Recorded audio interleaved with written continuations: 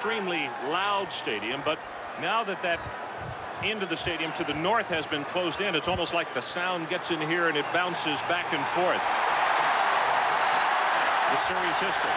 They have played the 23 times. Florida 0 and 6 versus Alabama here. Also, remember they lost twice in Jacksonville, so the Crimson Tide 8 and 0 in the state of Florida. But last year, Gators won it. That game was at Tuscaloosa. Rain, if you saw the tees earlier this afternoon, rain started at just after 5 o'clock. As you look at Cole, who has teed the ball up at the 35. It subsided after some sprinkles of about 20 minutes, and then the range came hard for about an hour. But this field, which is natural turf, it was converted back to natural turf two years ago, drains extremely well, and Mike will be very anxious to see what kind of slippage, if any, we get from the teams. 81, Monty Duncan. Harrison Houston was 84. You looked at a moment ago. Both teams 1-0 the opener of the Southeastern Conference for two teams that have figured to be very much in the hunt. Florida, a preseason pick by many, and Alabama picked anywhere from three to five in the preseason prognostications in the Southeastern Conference.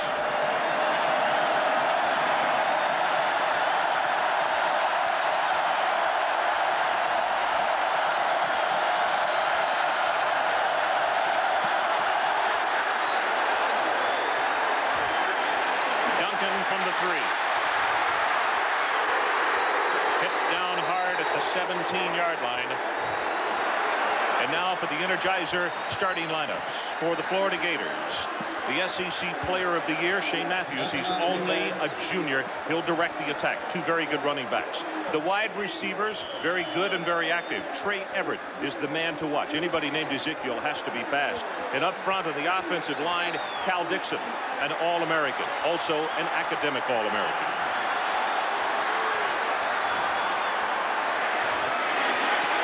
Dexter McNabb and the big fullback will take it forward for three now four yards. And Derrick Oden, the right inside linebacker, is there to make the hit. Let's check the lineups defensively for the Crimson Tide. Robert Stewart has been having lower back problems. They have to have him at 100% tonight. John Sullins opened up with an interception and nine tackles last week. He's a very good one. And in the secondary, keep an eye on McMillan. Excellent at man-to-man -man coverage.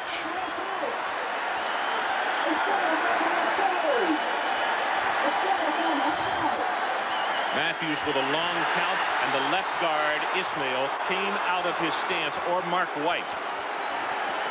So rather than the gain of three, it will be erased. It looks like White is the one who moved. Ron, a key for Florida. Before the ball is snapped, we have a violation. Is on first down. Must pick up four yards or more to try to keep Alabama out of nickel and dime schemes that they do so well under defensive coordinator Bill Oliver. Talked off the top of the telecast of the importance of first down. Pressure up the middle as they set the screen. Matthews will be knocked down at the one-yard line. Stewart came raging through and I think we know very quickly the situation with his back. That is a loss of 14 and very close to a safety. When you watch this replay, here's the matchup. Robert Stewart just gets right by him. He probably was, there was supposed to be some help because it was a screen. But Alabama brought in six defensive backs on that play. It was a screen setup. Robert Stewart, there was just a three-man rush. Had to be a broken assignment. So it is third down. And for the Gators, they need the 27 and a half. Rhett, last year's leading rusher in the Southeastern Conference, will bring it out to the seven-yard line. And what he did was give the punter 15 yards to line up without standing at the back of the end zone line. Shayne Edge will come in to kick. He punted five times last week for an average of 45.2. His longest, 62. And right now, he needs his longest. As you look at a young fella that is going to be as exciting as anyone in the Southeast for a while, David Coleman. Young freshman who was really exciting last week in the opening game versus Temple.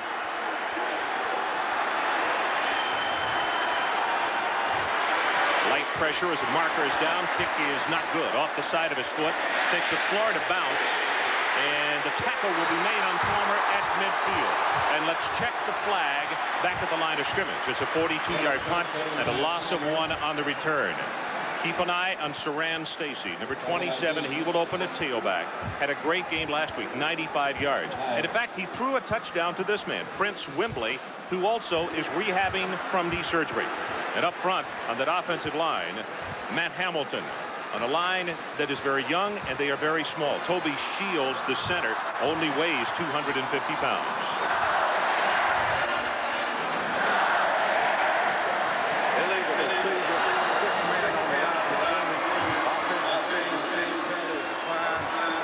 Jimmy Harper, one of the veteran officials and a very good one in the Southeastern Conference, our referee tonight. And you can hear from his call, Florida with only six men at the line of scrimmage. Bama refused. Florida is an eight-man defensive front. I'll explain it as we go along, but it's very difficult to run against the eight-man front.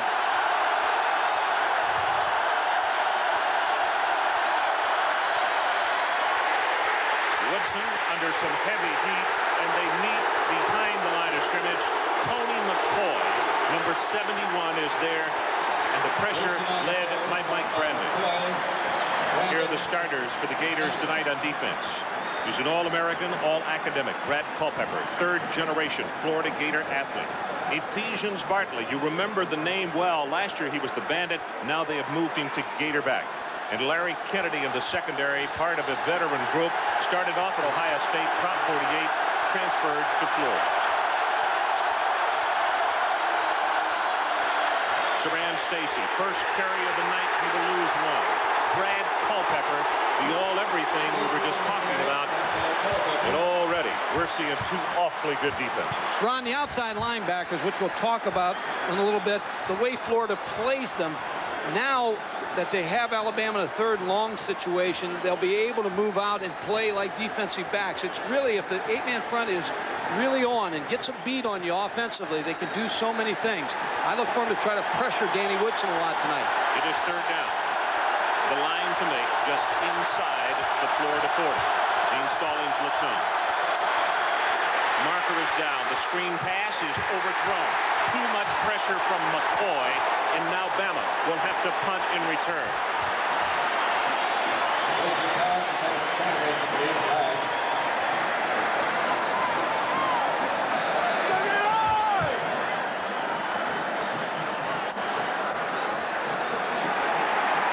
Procedure call.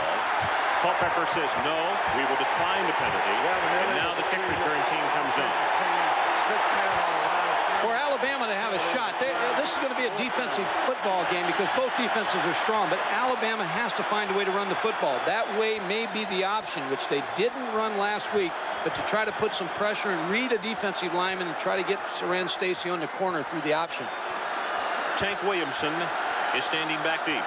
He will be kicking to Monty Duncan as the Gators have the return on. Duncan will let it bounce, and he will not have a chance on a return. And look at this one. It is going dead inside the seven at the six and one half yard line. So two excellent defensive stands, and we'll take a break with 11.35 left in the opening period. No score. Florida Field, Alabama, three plays, five yards. Florida, three plays, six yards. The Gators do not have real good field position to open it up as they go with the red. Great second and third effort. He'll fight his way out to the nine. Last year, 845 yards rushing. He was the leading ball carrier in the Southeastern Conference. And now, Mike, talk about the situation of first down. First down is very important for Florida because if they if they're held and have second and seven or second and eight like they have right now, it gives Alabama so many opportunities to do so many things to Steve Spurrier's offense. A moment ago, the play that almost cost them a safety. They tried to set up the screen, and someone had grabbed the running back coming through. Very good defense by Bama. Matthews going to put it up on top. He is got it complete. Trey Everett down at the 35 by Langham.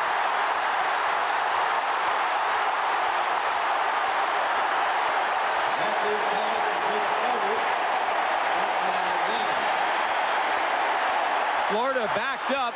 Steve Spurrier. Alabama did not bring the nickel back in on this play. They're just going to throw the deep route to Trey Everett. He just runs by the free safety. An excellent throw by Shane Matthews. He almost broke this for the touchdown. 56 yards. Well, that's one way to get out of the hole quickly.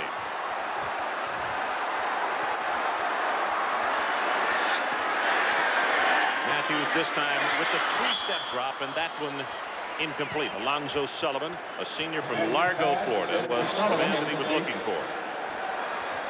Ron, here comes the two extra defensive backs in now. Now, Alabama on that second and eight stayed with their regular defense. Steve Spur then checked off and went to the pass. Now you have six defensive backs on the field for Alabama. They'll match up with the running backs. The running backs for Florida are excellent pass receivers. They run good routes, and they're always involved in the passing game. Levansky Hall and Charles Gardner are the two extra backs that Mike was talking about who just checked in. Matthews trying to get away from Stewart, and he will be roughed out of bounds by Stewart. Oh, I'll tell you, for a big guy, there is a reason that he runs that well, though. When he came to Alabama, he was, in fact, a running back. He has run a 4.640. Now he is six feet, just a little over, and weighs 270 pounds. Probably when they brought him to school, they gave him number 34 and then didn't want to take it away from him because uh, he is such an outstanding player. When you play six defensive backs, as Alabama did, there wasn't much open last play for Shane Matthews. Third down. The line to make the 25.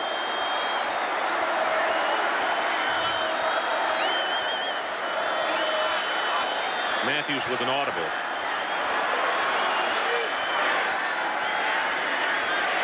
Pressure up the middle. Ball is intercepted at the 14-yard line. That's George Teague. And he will be tackled by Shane Matthews at the 40-yard line.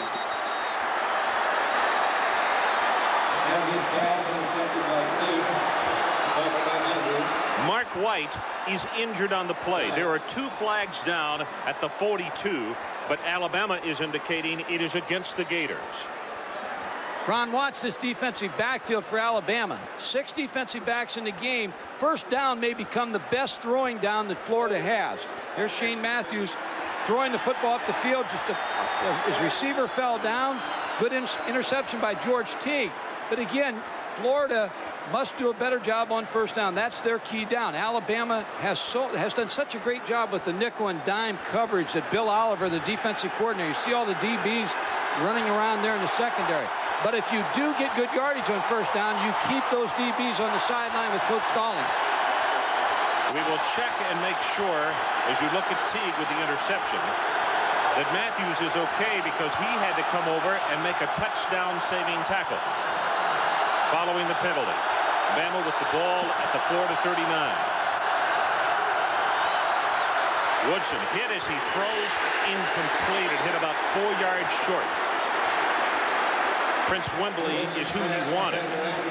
Tim Paulk, number 99, a senior All-Southeastern Conference last year out of Miami, was the man making the play defensively. Watch Tim Paulk, number 99, on a blitz coming after Danny Woodson. The thing about the eight-man front, they can pressure you. You can't block them unless you go to a two tight end system. So he was going to try to throw the quick hitch pattern to the wide receiver.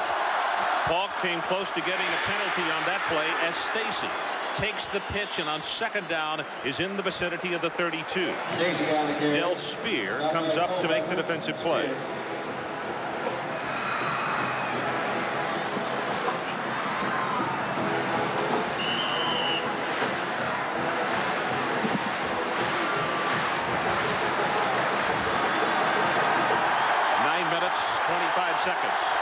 opening quarter.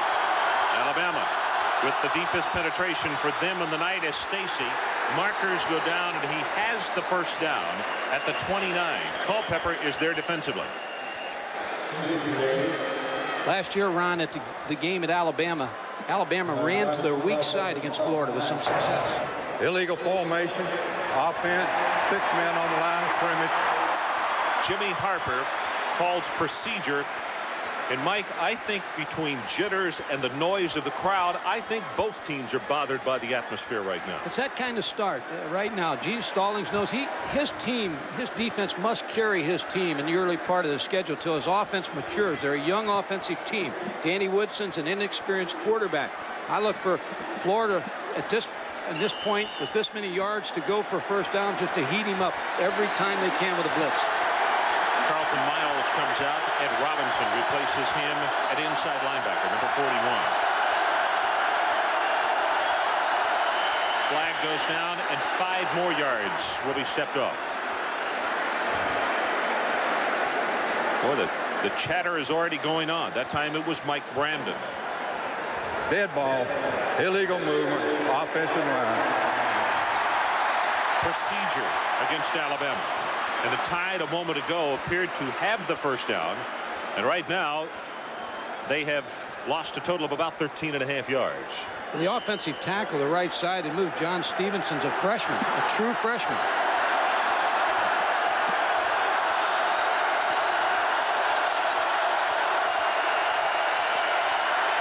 Woodson slips a bit, now's got big running room. Has five, 10 and cut it off at 13 and now 15 yards. He got breaded by Tim Paulk, but that is enough for the Bama first down. Florida with just a four-man rush on this play. This is what Danny Woodson, such a good athlete. You see him drop back to pass. The pressure's coming. He almost fell down. Now, Florida's in such deep drops with their linebackers, and he's such a good athlete, he's able to pick up the first down. I mean, Paulk almost knocked him out of Alachua County. What a great effort. Kept himself from falling.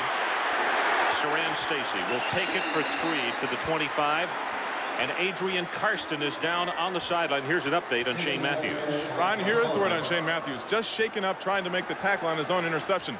Says he was just mad. He forgot to put his head up when he was making the tackle. But at 6'3", 190, he says he was not going to let that man in get in the end zone. well, we talked to him yesterday. He is a coach's son, and he knows good and well that after throwing the interception, he'd already messed up once. He couldn't miss the tackle to mess up twice. The ball is on the ground. Picked up by Stacy. Now he loses it, and it's recovered by Mike Brandon of Florida. Oh, what an error by the Alabama Crimson Tide. Ron, they had a play also. They were going to run the option to the right side. Danny Woodson just fumbled the football. You see him with Mal Moore. Here's the start of the option. Pulls it out, just dropped the football. Siran Stacy tried to pick it up, and Mike Brandon from Florida recovered. There's a second look. Just didn't get it out clean after the fake. I think Paulk, and we may have time to go back and check it, I think Paulk touched the ball, knocked it out of his hand, Mike, in Woodson's defense. This is Rep. Oh, does he get popped as these two defensive units have really been putting some headgears on the ball carry. That time it was Sullins along with Jeremy Nunley. And when Nunley comes in normally, that means that Alabama has gone to a four-man rush, doesn't it? It does. They'll, they're usually they'll have somebody on the center, but when Nunley comes in the ball game, they'll slide it and play a four-man line to try to give Florida as many looks up front as they can. Errict Rhett is a single running back. Gets the pitch. Blocking is not there. And let's go to Tim Brando and get an update on what's happening tonight in other college football. Timmy. Ron Stanford uh, trying to rebound from their loss to Washington, leading 17 to nothing before Arizona's George Malauulu hits Chuck Levy 65 yards on the sideline route. Turns it into a big play. It is now 17 to 7 in the second quarter. We'll keep you posted throughout the night and, of course, at halftime. 17 to 7, and supposedly Stanford was all banged up for that one.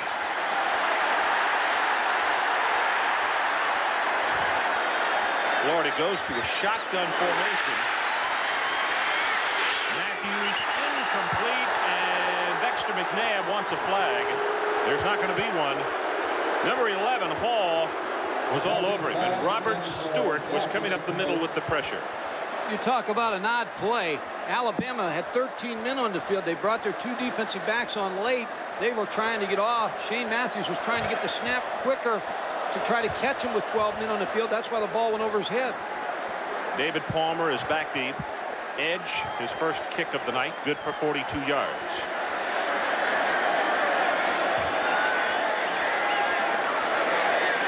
They come after him. This is an end over end, and Palmer should have a chance to return. Now takes an Alabama bounce. And they will touch it dead at the 27. No score. Let's take a break. 6-17 left in this opening quarter. Well, the celebration started yesterday, and actually for some, they started coming in in their mobile homes two days ago.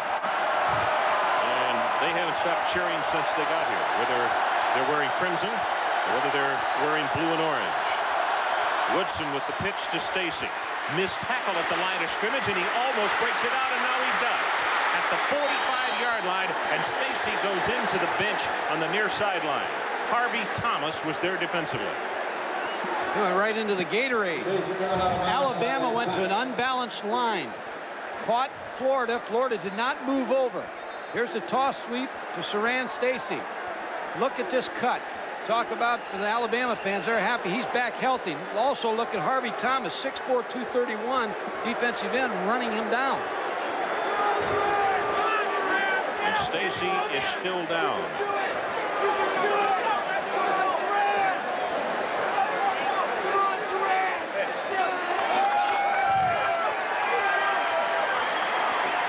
Here you'll see from the end zone. See the unbalanced line, only two linemen to the left.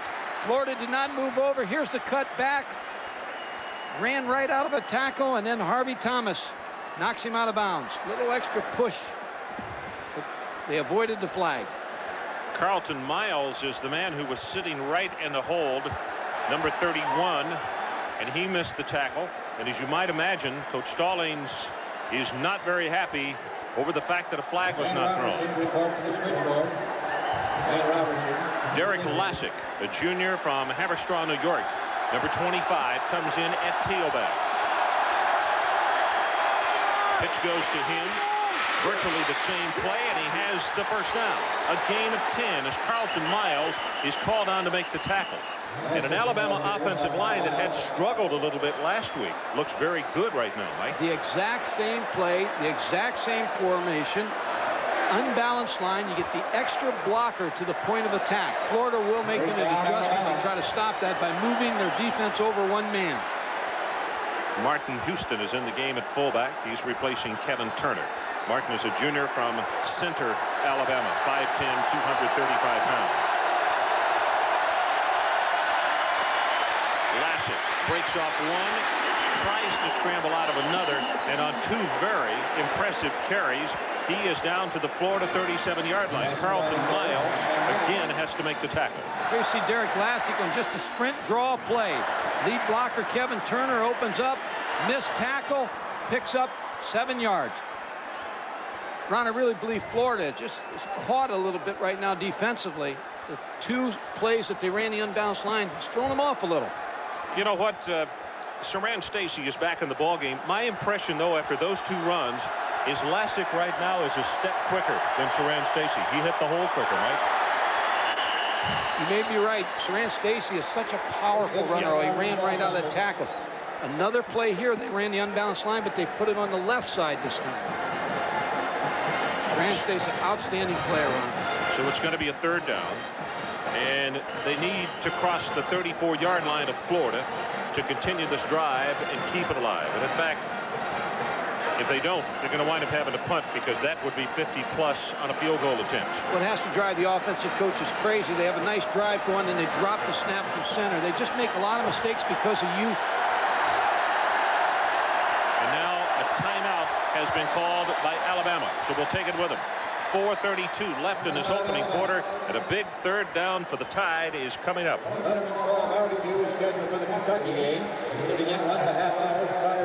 Back, Ron Franklin, Mike Gottfried, and Adrian Karsten from newly remodeled Florida Field. And we are awaiting what is supposed to be a record crowd tonight in excess of 85,000. But we have seen quite a ball game so far if you enjoy defense.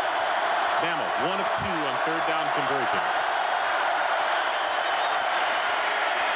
Woodson rolls it, gets by a tackle, has a man open, and it's thrown out of bounds. Bigley is the man he wanted.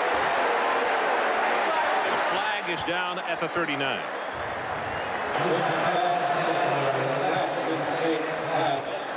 Defensive team.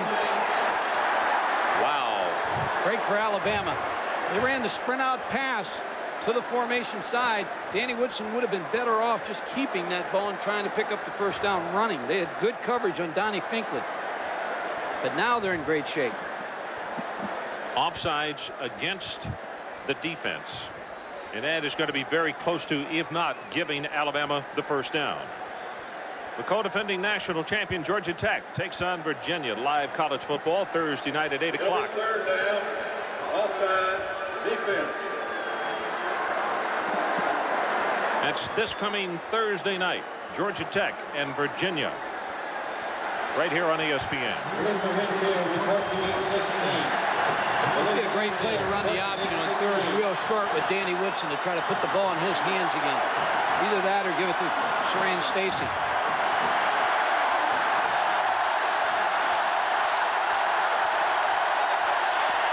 Straight ahead with the carry. The ball came loose, and Florida is saying they got it. Tony McCoy is down at the bottom of that pile. And from where that has been marked, Mikey's not going to have it. I think Gene Stallings on the road has to go for this.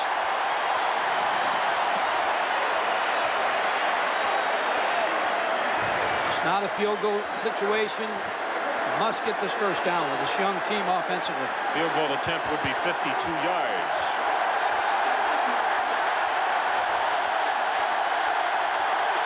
Probably the same play.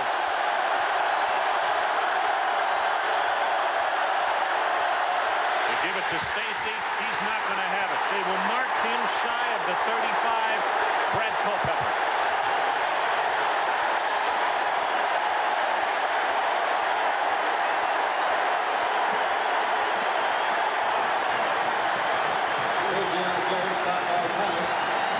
Ron Alabama took the ball off the line of scrimmage, gave it to Siran Stacy. Brad Culpepper made penetration, was able to make the play in the backfield. Gene Stallings is just telling Danny Woodson, settle down.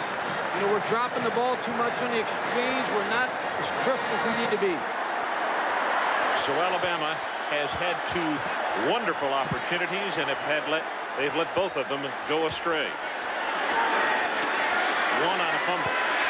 Pass over the middle, complete to Terrell Jackson, who's tight end. That's going to be good for about seven and a half, maybe eight yards, as McMillan is there to make the tackle. And Jackson, an interesting story.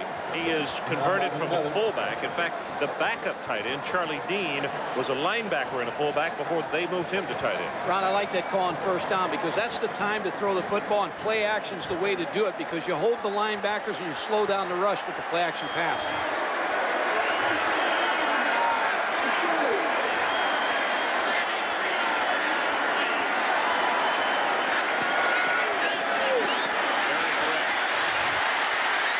Turns the corner, but just barely. That very speedy Alabama defense is there. George Teague, he already has an interception tonight, and he headed off that play right there, but not before Florida got the first down. Big first down.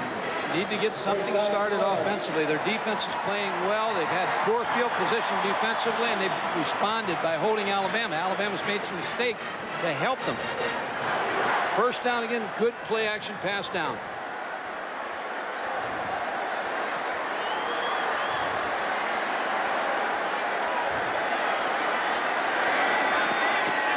Matthews on the play action all the time in the world.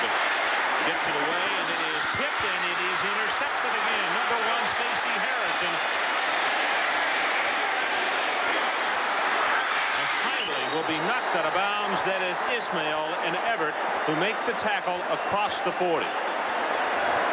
I was watching Steve Spurrier. He threw his hands up in the air. He's frustrated because he felt he had some open receivers and the ball was just thrown poorly, too late. Most of the times when interceptions occur, they occur when you start to scramble and you're trying to find somebody down the field.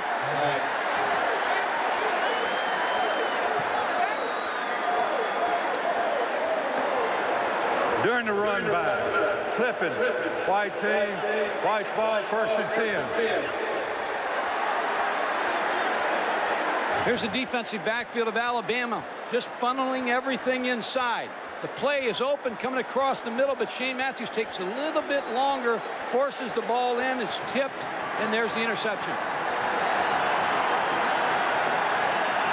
There's your clip right there. 56 White makes the hit from behind, and that's the reason for the pivot. That's Derrick Oden who made the push from behind. And the numbers on Shane Matthews right now, two of six with two interceptions for 66 yards.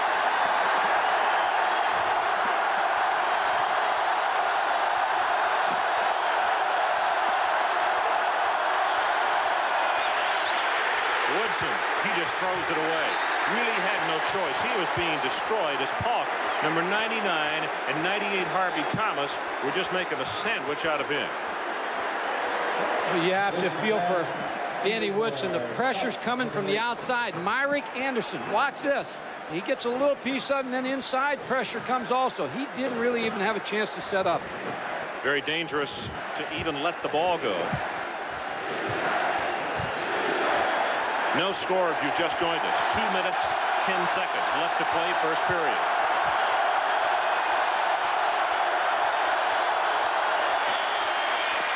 Turner with the handoff, the first man through, close to the 20-yard line, and it will now be third down. And the line to make for Alabama is the 25. McCoy defensively.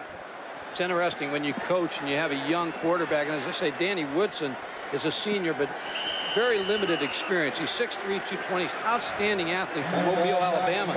But you're limited in this kind of stadium because of the noise and trying to change some plays. And now Moore, the offensive coordinator, just trying to settle him down. Alabama one up three on third down conversions.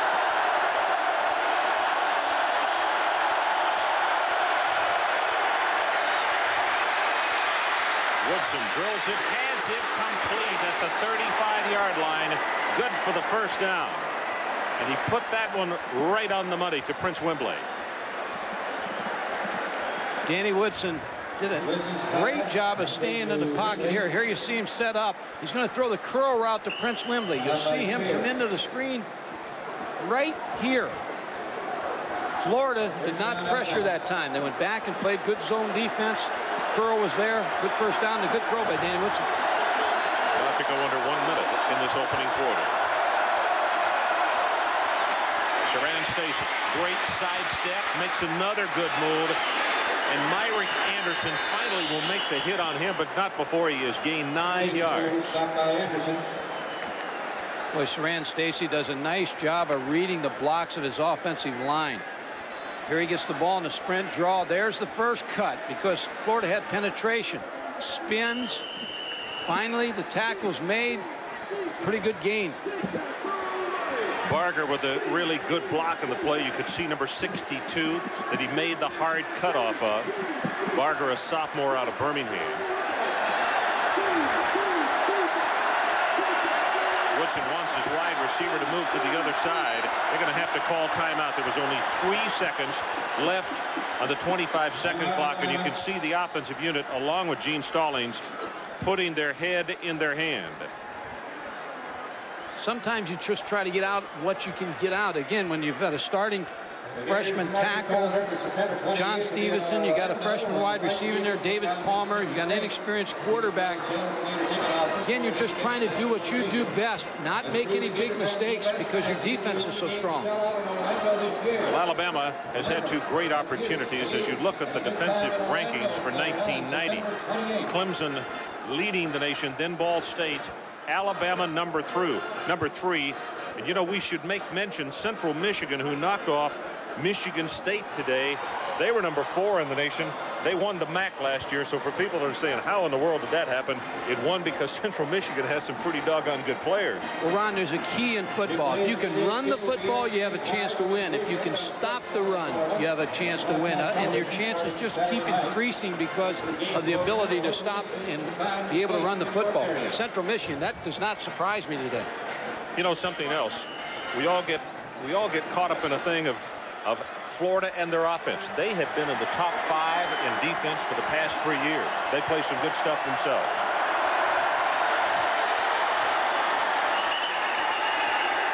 Ball on the ground and has been recovered by Culpepper. Mike, did he fumble it from the snap? I lost it. I think he pulled out too fast. There's Gene Stallings and Mal Moore talking about it. Mike Solari, the offensive line coach, also. I just think he pulled out too fast and fumbled the football. Didn't get the snap. Well, you want What he's trying to say to him is that as I, as I watched him trying to show his hand there, he said the ball hit too high on my hand. He just hopped right out of there. And as the guard started to move, as usual, what happens, he get kicked around a little bit. That is three fumbles for Alabama tonight. They have lost two.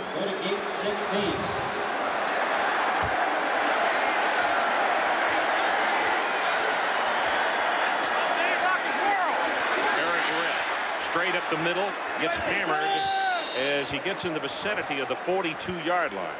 Errict from Pembroke Pines, Florida. John Sullins is there to make the stop. Six carries now for only 23 yards for Rhett. And an Alabama player is shaken up as we come to the close of the first quarter. So let's take a break. No score at the end of the first 15 minutes. We'll be right back. Well, we just talked about defense toward the end of that quarter, and both defenses in that first 15 minutes played extremely good football. But Florida with a good opportunity now from the 42. Matthews with the screen has to throw it away, and he got knocked all the way back to the 35-yard line as John Copeland was coming through. Here's Oden. He was injured just a moment ago. Derrick Oden, a junior from Tuscaloosa, the second leading tackler on this team in 1990. Mike, you talk about even. We have no scores. 76 total yards for each team in the opening quarter. Great defensive effort by both defenses.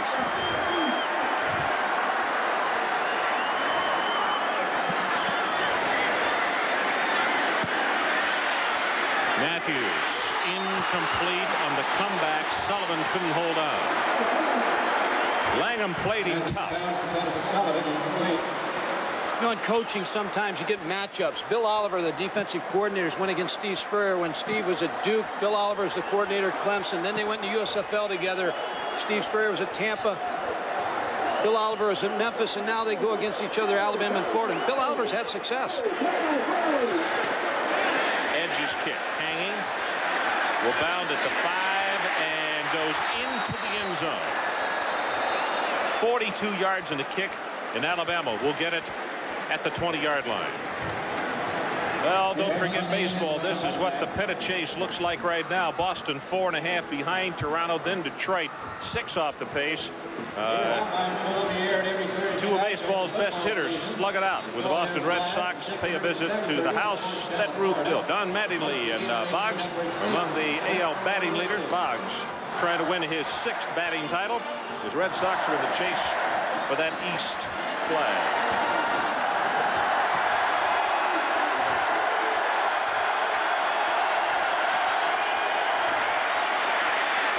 Stacy tries to get to the outside, turns the corner, has five and then six.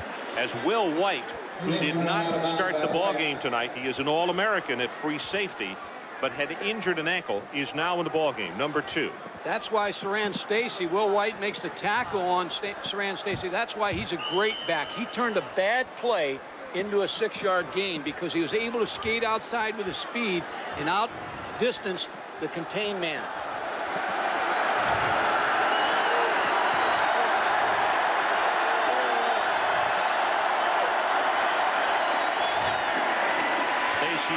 Looks for some running room. Has one, then two. Culpepper, you could see him along with 99, Tim Paulk. Eight carries now for 40 yards for Stacy. Well, this is a great chess match, coaches-wise. Both coaches trying to milk away to get in the end zone against two really good defenses. I mean, both these defenses are playing well. They're playing tough, strong defense. So if you just joined us, here's the situation. 14 minutes left to play until halftime. It is third down Alabama. The ball resting at their own 26. They need the 30.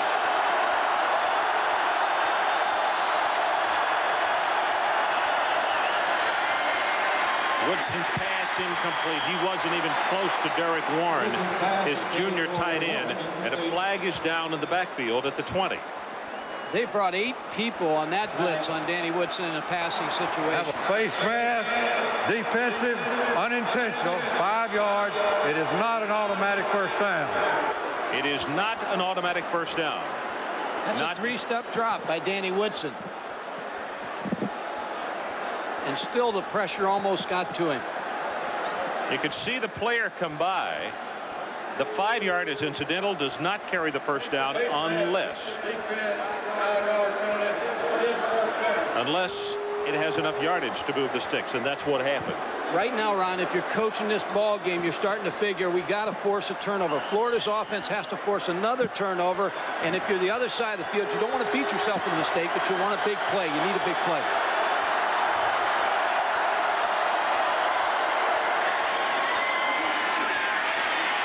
Woodson with play action now will run it, and he pays the price that's caught. And let's go to Adrian Karsten for another update. Adrian. Rod, thank you very much. Two problems when uh, Alabama has the ball. First of all, the center is complaining about when he moves the ball. We had that hour-long downpour before the game. The ball is getting slick. They can't handle it between the center snap and the quarterback handoff. Secondly, it's getting very loud down in this closed end with the new 10,000 seats. The offensive lineman, when Florida fills the gap, cannot hear the call between each other, therefore not making the proper block. And that's so important, people don't even realize the line call. To the near side is Lassic. He will turn the corner and dives for the first down. And oh, did he get a good spot. He is going to be marked out at around the 42-yard line. Carlton Miles was in pursuit. They went to the unbalanced line again. Every time they went to the unbalanced line, they ran the toss sweep and picked up good yardage. First, first two times they ran it, they cut up inside and tried to cut back against the grain where everybody was running. On that particular play, they got Derrick, Derrick outside. So for Alabama, they move the chains again and now improve that field position out to the 42. And you look at the rushing yardage so far. Florida, a very good running football team, only 10 total yards. Roosevelt Patterson, number 77. He was a huge sophomore at 6'3", 290. I think you could see him come out of his stance. Ron, the reason they're having success with the unbalanced line. Dead ball, false start, offense. When you play against an eight-man front team, it's balanced. There's four on one side, four on the other. When you move to an unbalanced line, you pick up the extra blocker to that side, and that's what Alabama's doing so effectively right now. Now, Florida eventually will move over one man to compensate for that.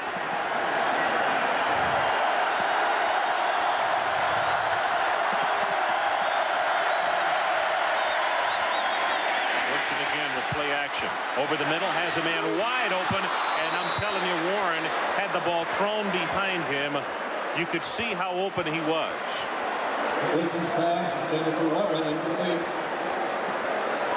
Danny Woodson on the move. He never really set his feet and throws behind Derek Warren. Could have set his feet there, taken a little bit longer. He may have been able to deliver the ball to Derek Warren. Mike Woodson is only one of five. And on the other side of the line, Florida's quarterback is only two completions, so three between these two quarterbacks. Credit to defense. Credit to defense. Both defenses outstanding. Woodson, that's a draw. Has five, has 10, and then he just goes into a burrow. And a pretty good thing as he was about to lose it all. Culpepper is there along with Miles.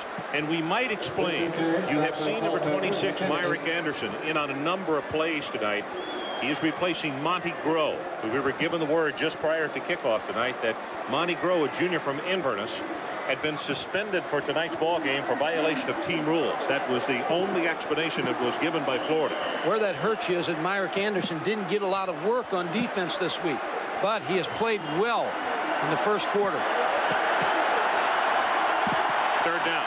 They need the Florida 48.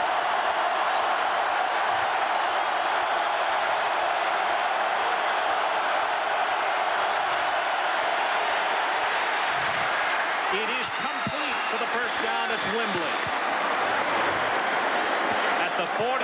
47-yard line. Woodson's pass complete to Wimbley. Woodson had Brandon and also Fee Bartley coming all over. That tells you what a good athlete Danny Woodson is. Under pressure, he was backing up when he threw the football. He didn't get any of his legs or hips underneath him. It was all arm to avoid the blitz. McCoy comes back into the lineup, number 71 for the Florida Gators. Very good pass rush from him. Alabama four and a half on first down. Florida, you can see one and a half for them as the pitch comes to Stacy, loses the ball, and Florida has recovered.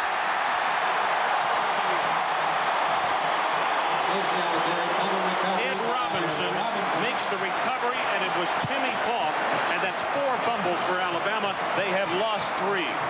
Wow. Eugene Stallings just makes you sick to your stomach. You just see all the turnovers your offense. You, are moving, but you just can't sustain a drive. But where eventually you're going to see the effect of these turnovers is that Florida eventually is going to draw a beat on this Alabama defense. You can't keep putting them out there in bad field position. The turnover story so far. Yeah, it rained before the game, but don't credit the wet field. Credit some very hard-hitting defenses. Shane Matthews, incomplete. Harrison Houston is who he wanted. Let's look back at that last fumble. Unbalanced line again. Here's the tackle. As he's coming down, Siran Stacy coming down, the ball just pops out late. Hawk just he almost took it away from him. You almost thought that ball was going to be blown dead. I think a lot of players around there thought it was blown dead.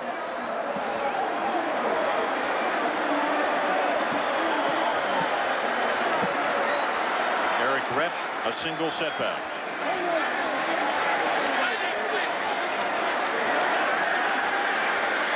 Matthews sets and throws this time, and he has Trey Everett. Antonio Langham is there on the stop, and let's go back to Tim Brando. Fellas, one of the overlooked games today on a pivotal Saturday is Maryland-Syracuse. Watch the Orangemen trailing 14-7 off the option. Doug Womack will keep it and go into the end zone. It ties the game at 14. I think you'll agree, guys, the winner of this game could easily be playing in a bowl game around the first of the year. And that's for sure. Maryland with an impressive showing there. 14-14 with Syracuse. Ron, seven DBs in the game. Seven defensive backs for Alabama. Pass is complete and inside the 40-yard line. Sullins will make the tackle on Willie McClendon.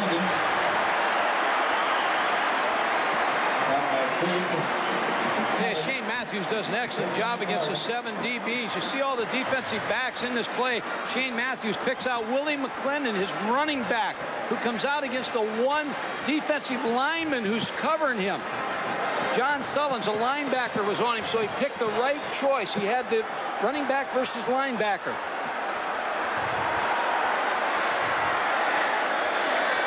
Fake it to McClendon. receivers just stop moving. Finally throws it, and it's complete at the 30 to Harrison Houston. Good receivers know you can't wind up with your feet in concrete. You got to help your quarterback out. Watch the coverage of Alabama. They're in with a regular defense now. Four, just four defensive backs. Still very good coverage. You see over the middle, there's a receiver open, but Shane Matthews pulls it down. Now the receiver should run with Shane Matthews, redirect their routes to try to help him. Matthews, 5 of 12, two interceptions, 92 yards. McClendon holds, get at the line of scrimmage. Good heavens, you could hear the headgears. Michael Rogers, one of the first men to get there, and also Antonio London. The running backs make this system go for Steve Spurrier. Watch the linebackers here. Michael Rogers reads the draw, just comes up and makes the play on Willie McClendon. What Steve Spurrier likes to do, Ron, is create a mirage. In other words, everybody talks about his pass offense, but if you look at his numbers, he runs just as much as he passes, and he'd rather run, but he wants everybody to think, I throw the football, I throw the football, and he does do it very well, but he also runs the football very, very effectively. Doesn't miss it by much. Third down. Both tight ends come into the ball game. Terrell Jackson and also 86 Charlie Dean.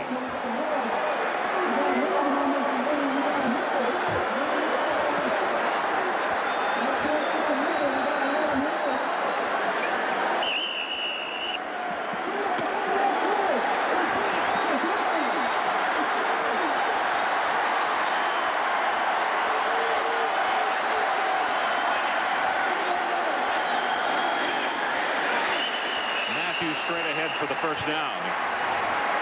Behind the block of Cal Dixon, the senior out of Merritt Island, Florida. Steve Spurrier changed the thinking in the SEC. Brought a pro passing attack. That's affected the league. A lot of teams are going to a 4-3 defense to try to help against this passing attack. He also brings the eight-man front into the league, which is good run defense. And most of the teams in the SEC are I-oriented teams, which means they're going to run the football. So he has really made an effect on this league in the short time he's been in it. Still no score. You can see the clock running down. 9.20 left until halftime. They set the screen for the first time tonight. It works as they go to the tight end, and that will only go for a couple of yards as the ball comes loose at the 27. Antonio London came up to make the hit. You talk about some crisp tackles tonight. Shane Matthews is going to set the screen. But Antonio London, the linebacker number 55, was reading it all the way. And when the running back cut back inside, Antonio London with a great tackle. Antonio was ill yesterday. Started to come out on the field to loosen up and had to go back in. He said he was having some stomach problems.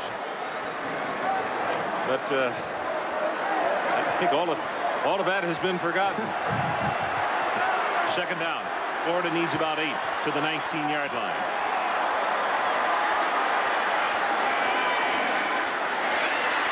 Matthews going to go long.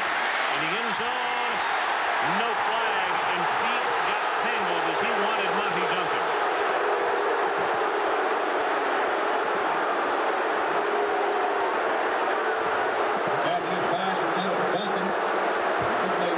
You see the six defensive backs of Alabama.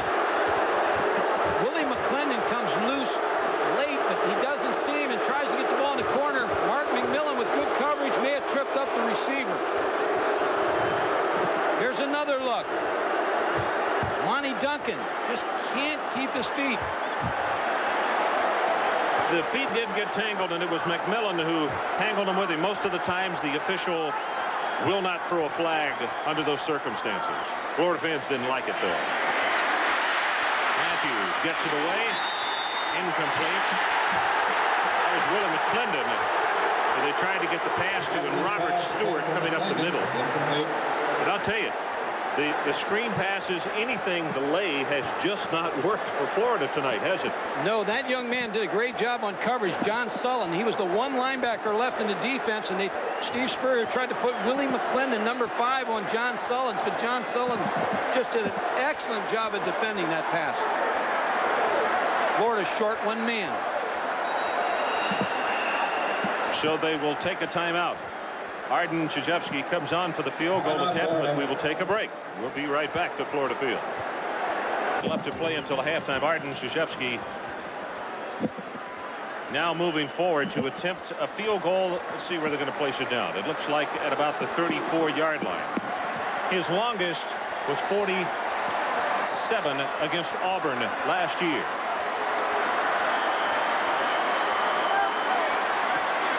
Plenty of distance. And he's good. The just good from 44 yards.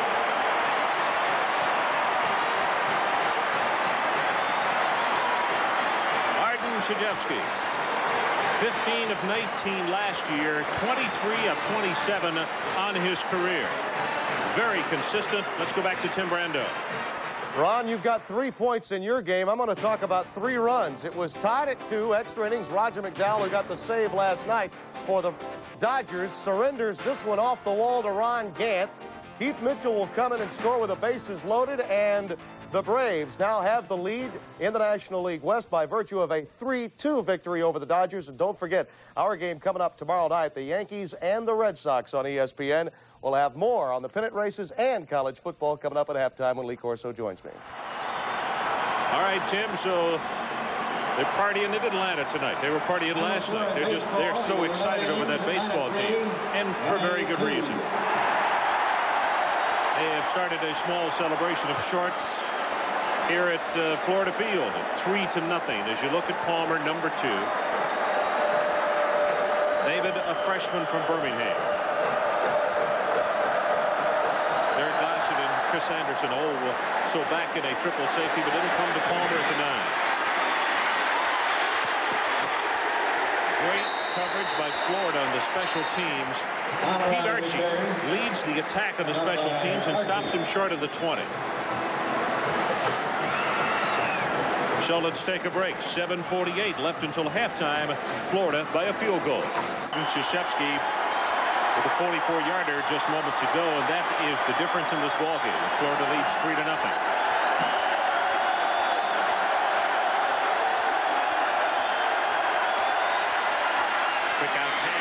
Complete to Finkley. And he will be stopped at the 30, very close to a 10-yard gain. Lawrence Hatch makes the tackle for Florida. A lot of teams, when they play against the eight-man front, will do a check-off system. If the outside linebackers of the eight-man front are crowded, Ron, to stop the run, they'll check off to the quick pass. It's just automatic, so you don't have to worry about crowd noise. If the outside backers are outside on the receivers, then they'll give the ball to Siran Stacy. So it's a run-pass situation when they go to the line of scrimmage, and it just depends where those outside backers are. You can see what the Florida defense did in 1990 against the rush.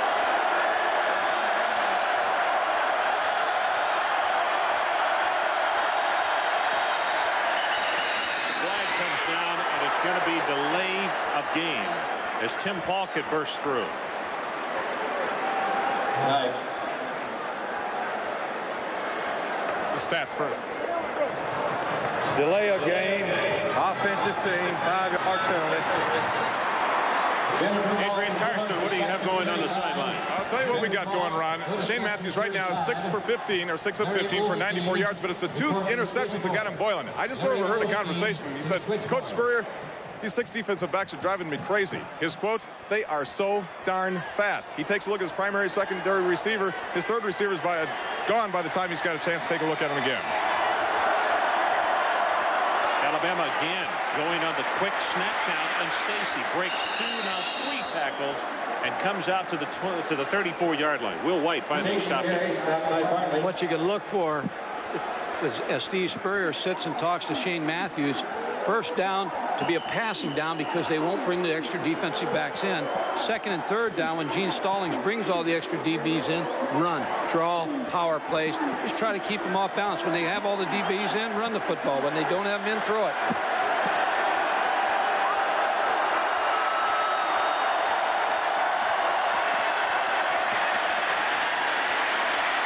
Woodson's pass is caught by Finkley at the 47. Woodson pass, complete to Finkley. There's Brad Culpepper, the outstanding defensive lineman. Good block by William Barger, number 62.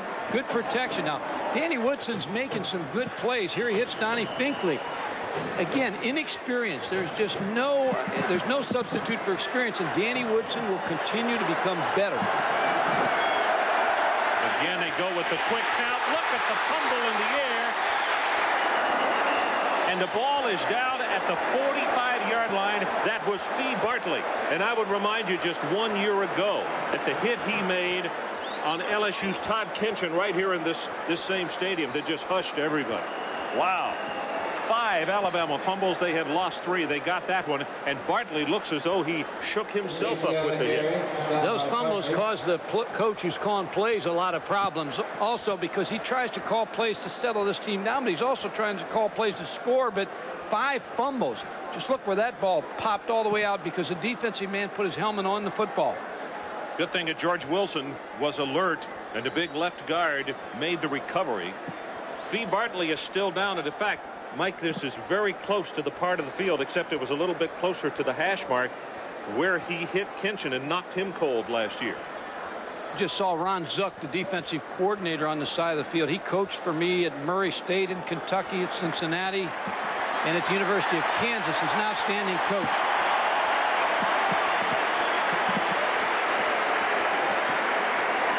Here's Derrick Lassic, and watch the watch the helmet is put right on the football.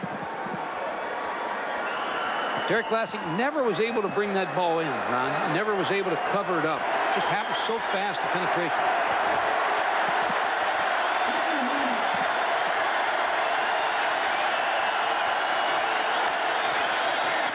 Pressure up the middle. Flag goes down and incomplete. See if there's a flag in the secondary. Carlton Miles was coming pell-mell.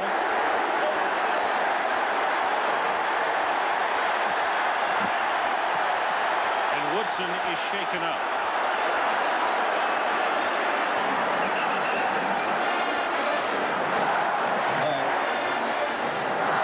Blitz from the backside. The backside pressure that Ron Zook, the defensive coordinator, sent. They were good. They were able to get the helmet on Danny Woodson. Jay Barker Got a blow to the face mask. Offensive team 15 yards from spot to foul. So Alabama really uncorks one at themselves here. They lose their quarterback for at least one play.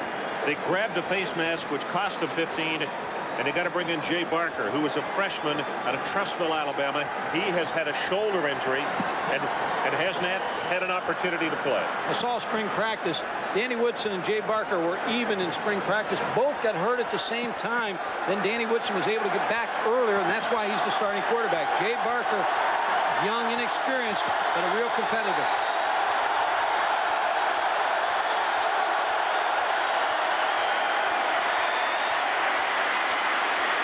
Barker cocked it to throw.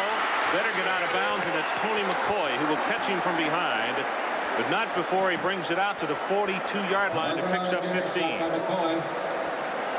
That's like coming in with the bases loaded, second and 31.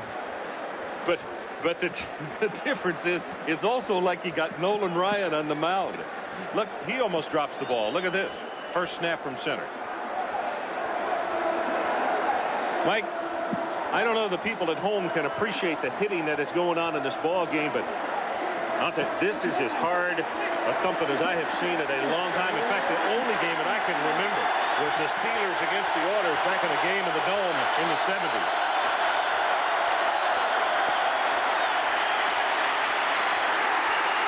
Tip and incomplete. Bama will have to punt. Culpepper putting on pressure. Ron Zook, the defensive coordinator, knows he has a young quarterback in third and 16 yards, puts pressure on with a blitz. Here's Culpepper with his hand up. Always those defensive linemen, you like to have their hands up. Beautiful driving spiral. Duncan back to the 20. And he will be stopped at the 16-yard line. 47 yards in the punt and four on the return. Rogers. Woodson on the sideline. They continue to look at that right wrist.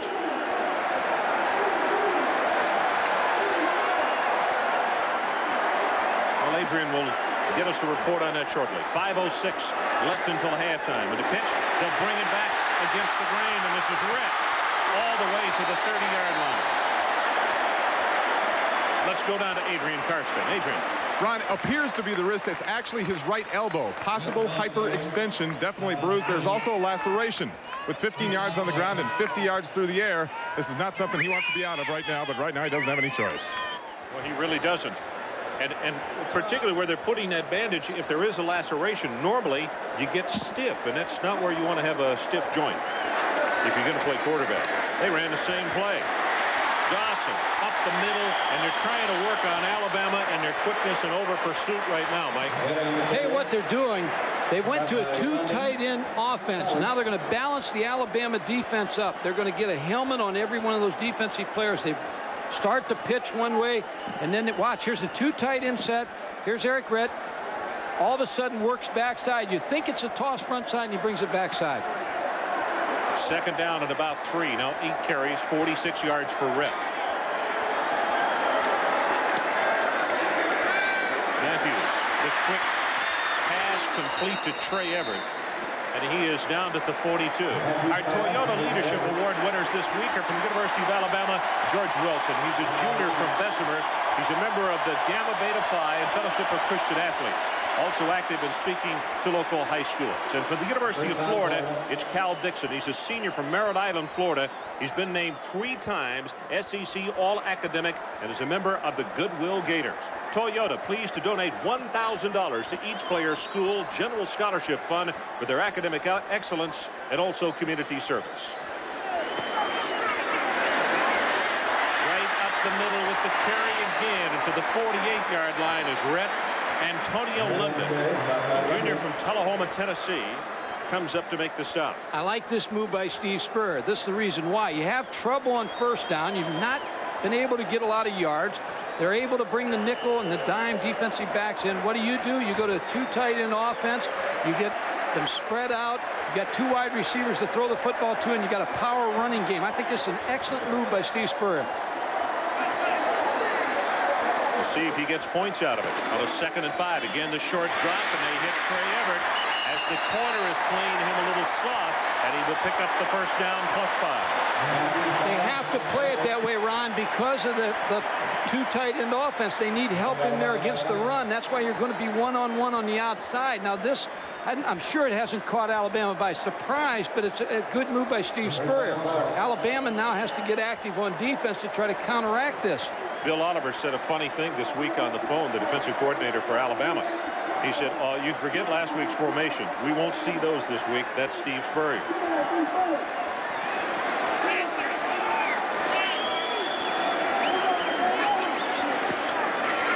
Straight ahead and the handoff, and those two middle backers are right there on Rhett. John Sullins and also Michael Rogers team up to make the hit. 90 and 52. And also you can see 94 John Copeland, the junior from Lanett, Alabama. Very tough player also. Now what Alabama has been able to do, they've now rolled both their corners up to play a two-deep coverage to take away the quick game. Now something over the middle for Florida might have a good opportunity to be successful in the passing game. Well, Terrell Jackson, the tight end, is flexed out about 12 yards in the left.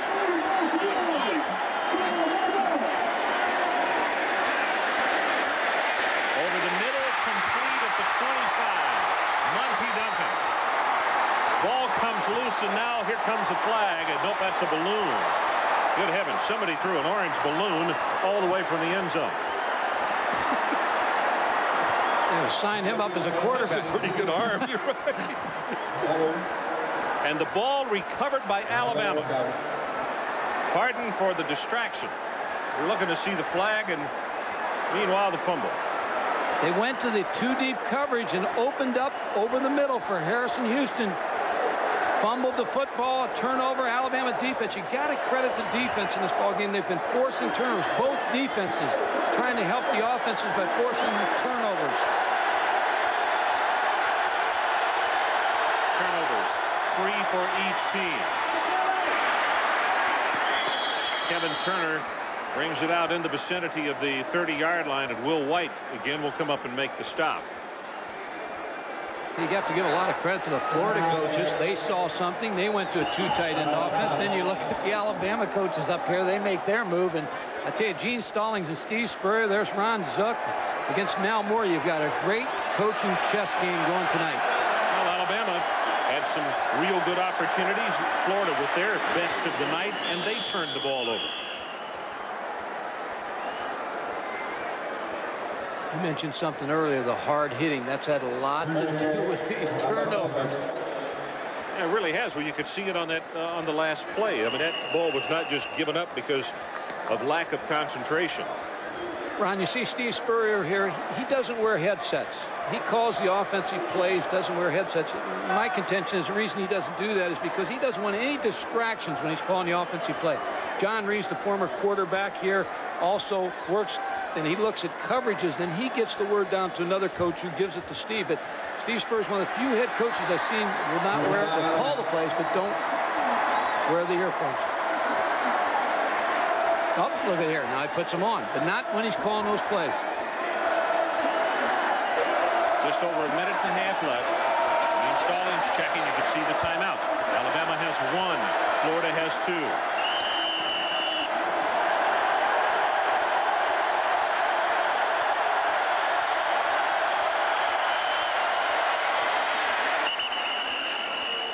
Turner will go for short yardage around the 35, now the 36-yard line.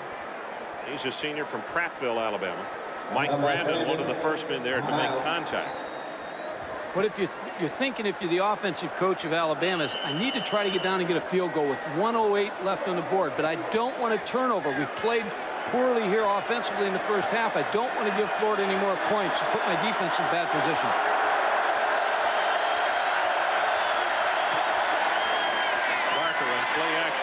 looking, and Steve Bartley knocks the ball loose. Who's got it? Bama recovers. And let me tell you what I've just been told from the sideline. Woodson will not be able to play the rest of the night because of that injury to his elbow.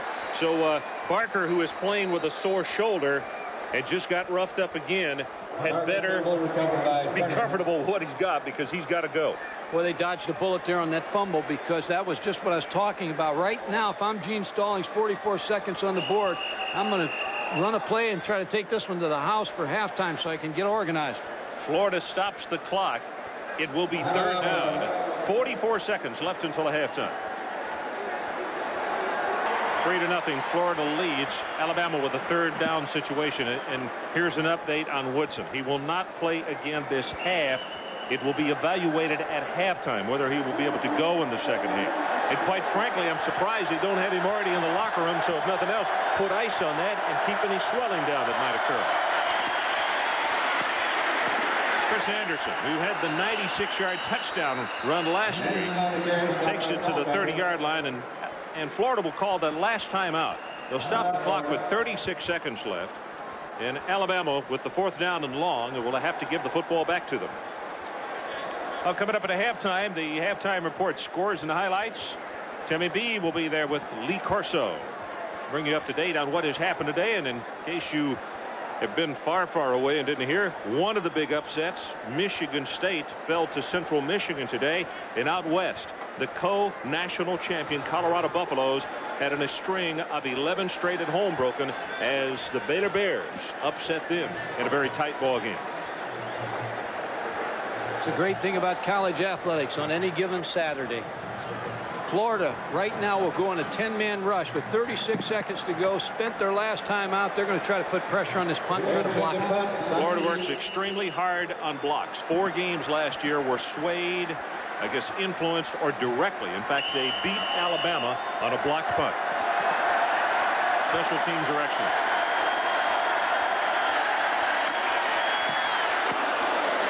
He did a great job of getting that one away. He just sidestepped the man coming at him for the block.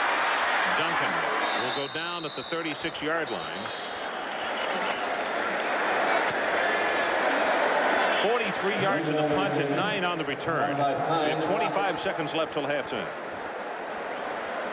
watched Alabama's sideline. Against Florida, you have to really try to measure the personnel when they come off the sideline to see what they're coming in with. But with 25 seconds to go, Alabama's bringing in seven DBs, six DBs. 8 of 17, two interceptions, 100 at 8 yards for that man, Shane Matthews.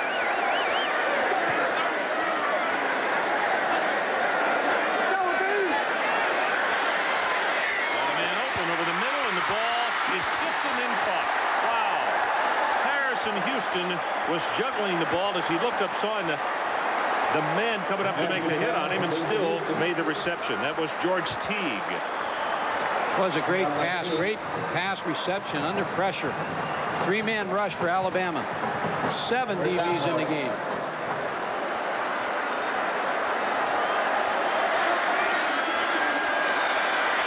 Again over the middle, it's open and is complete to Sullivan. But he will fight it forward to the 29-yard line. Shane Matthews needs to kill the clock. Once the clock starts, when they move the chains, just kill it to give his field goal kicker a chance to come on the field. You see him getting set. They don't want a five-yard penalty because that might push him out of range. This one is going to equal his longest distance anyway, and you see him stop it with five ticks left. So Czyzewski, who had one a moment ago from 44, will get a chance to equal his career long of 47, I believe, on this one. With where the line of scrimmage is at the 32.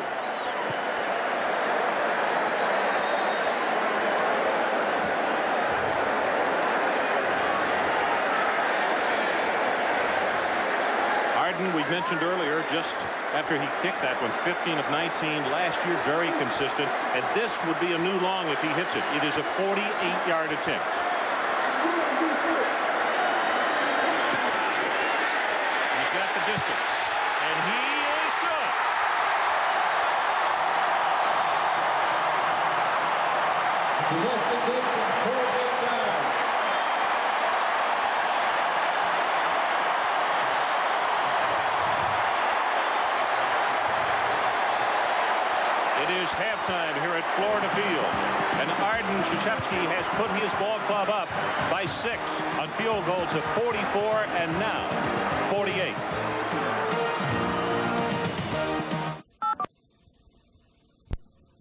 Field and our score at halftime. There you see it. The Gators six and Alabama nothing. And Mike, in looking at the first half, I made mention of the second quarter that this is as hard a hitting football game as I've seen in a very, very long time. How about you? Ron, you're right. Folks, if you like great defense, you got to enjoy this game.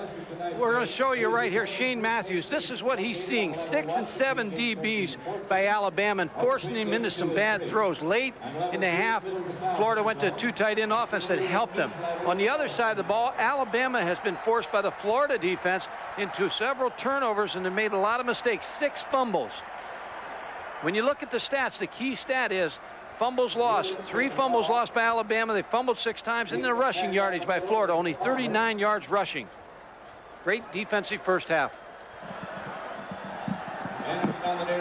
Well, those numbers tell the story. Alabama having lost three fumbles in the first half. And, of course, that one that Florida lost very costly as they had driven the ball deep into Crimson Tide territory. Ruland will kick it off for Florida. Again, it's David Palmer, number two for Alabama, back deep, standing at the goal line. This is going to come up short and will come down at the 10-yard line to Chris Anderson. Across the 25, and he gets collared, and I mean literally, at the 27-yard line. Good return is Leroy Jones, number 90, was downfield to hit him with the hit high tackle.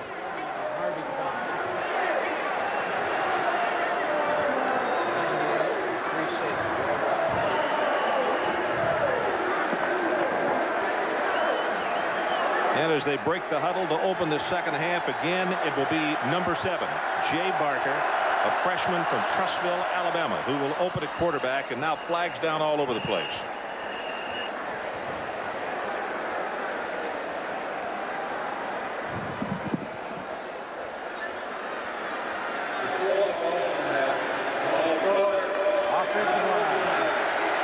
John Stevenson and the right tackle position three times tonight now has cost penalty yardage to Alabama. You remember Roosevelt Patterson, who had come into the ball game back in the first half, number 77.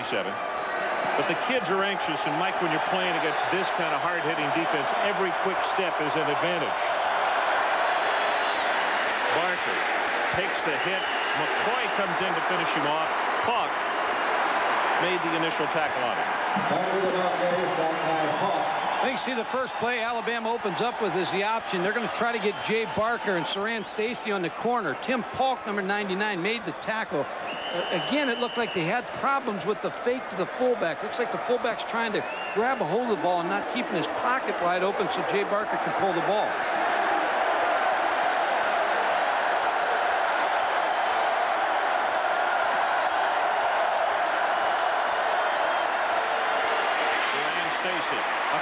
the 30 and he's out to the 34-yard line. Now this brings up a third down situation for Alabama. They'll need about four yards. Alabama caught Florida playing pass. Linebackers get a little depth. They get the ball in the draw fake to Siran Stacy. Look at the block on the linebackers. I'll tell you, Siran Stacy's getting better as the game goes along. In the second quarter, I saw him picking it up a little bit also. And uh, he didn't play last year, so all the experience helps him. 11 carries, 60 yards for him so far.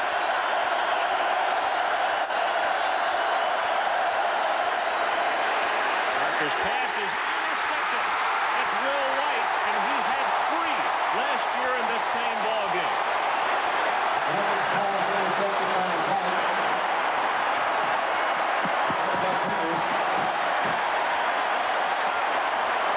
Jay Barker was trying to go to Prince Wimbley. Will White read it all the way. Was able to pick off the interception. Trying to get the ball to Derek Warren. Had Prince Wimbley in the route. Good pressure by Culpepper. Mistake by the Alabama offense. So the Gators with the first big break of the second half and now four Alabama turnovers. They go with the draw play. Dexter McNabb inside the 25 and he will have a Florida first down at the 23. George Teague and Stacy Harrison, the two safeties for Alabama, coming up to make the stop. Ron, you'd like to have your quarterbacks like Jay Barker and Danny Woodson have a little more experience, and you really would dislike breaking them in in this kind of atmosphere. But this will be good experience for them. They'll grow from this. McNabb is the only setback this time for Florida.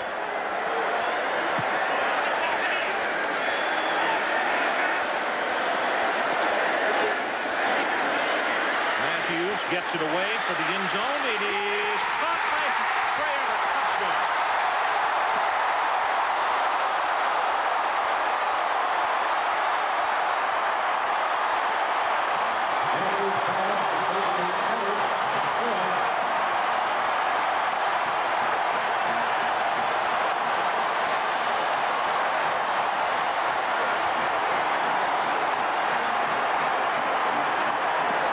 Watch 24 blue. Trey Everett runs a corner route against George Teague, but I'll tell you, this is going to be great concentration to count that touchdown for the offensive line of Florida. They picked up the blitz. Also, it was poor ball recognition on the part of Teague. He never really turned around until the ball got there. Gators go for two. Matthews all day throws it complete. Alonzo Sullivan for the two-point conversion.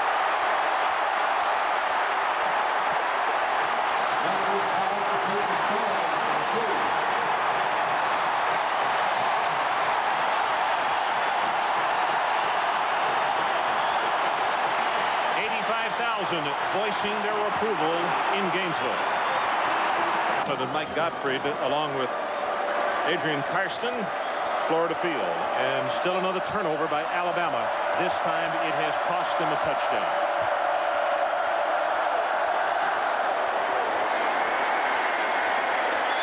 Palmer from the goal line. Crosses the 20. Still on his feet, and he will be stopped at the 34. Will White with the interception. I had a chance to talk with him yesterday because last year he had three against this same Crimson Tide team. Well, basically, it was just one of those days that everything went right for me. Um, you know, sometimes you just have those days that everything goes right, and that definitely was one of those days. Um, bringing them down here, hopefully I can have a game such, such, such as, you know, last year, hopefully get close to it. And tonight, he has made another interception, four now in two games, as the pass completed to Prince Wimbley. White out to help on the tackle, along with number three, Larry Kennedy. And that's going to be a gain of very close to 10. Both defenses have forced the action on the offense, and Alabama's defense after the interception caught, caught and just gave up that touchdown pass in man coverage. Ron Zook's just going to keep pressuring the young quarterbacks tonight. Blitzes from the inside, blitzes from the outside. Wimbley now three catches for 34 yards.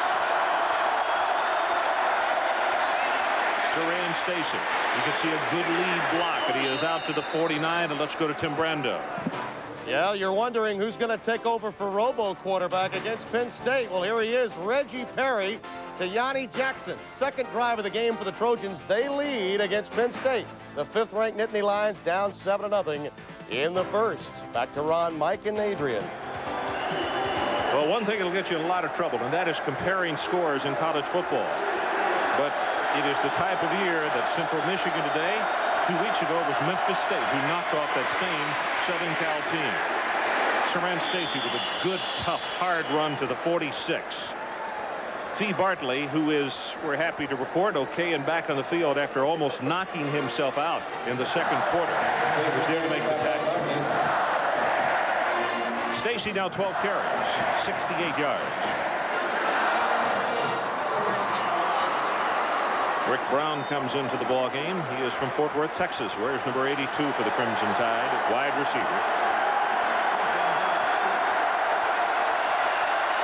Pitch to Stacy. Hit in the backfield, and on a second effort, Mike, I think he's going to have the first down. He was dead in the water as Paulk was coming through, and also Harvey Thomas, and he got away from both of them.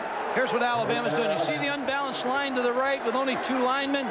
Florida adjusts on this play, but again, a nice run by Siran Stacy to get close and pick up the first down. About to go into 11 minutes left to play in this third period as Florida struck early, taking advantage of the Will White interception. Derrick Lassic will be caught at the line of scrimmage. Tony McCoy, a senior from Orlando, comes up big in the play. You know, it was very easy and very quick to understand that in talking with the Florida players the last couple of days that Tony McCoy is very, very popular. And they think that his abilities are equal to some of the people who have just graduated this past year.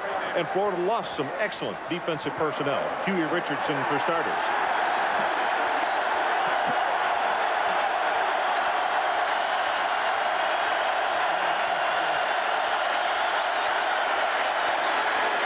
the reverse. Here it comes to Palmer. And he will be hit and dropped for the loss back at the 50-yard line. Del Speer stayed at home and then has a message. And you can see Palmer with an elbow as he walked away. Well, you run the unbalance, you run the toss, you run the toss, you run it four or five times, and all of a sudden you set the reverse up. David Palmer with good speed, but Del Speer, the corner, on the side the reverse came, stayed at home and played it very well. Did not take the fake and did not try to over pursue. Stayed exactly where he was supposed to and made the play. The name Speer has been prevalent here in Florida football circles for quite a while. Del is a junior. His brother James played 86 through 1990. Barker, backside pressure. Fee Bartley got there first. Two Florida sacks.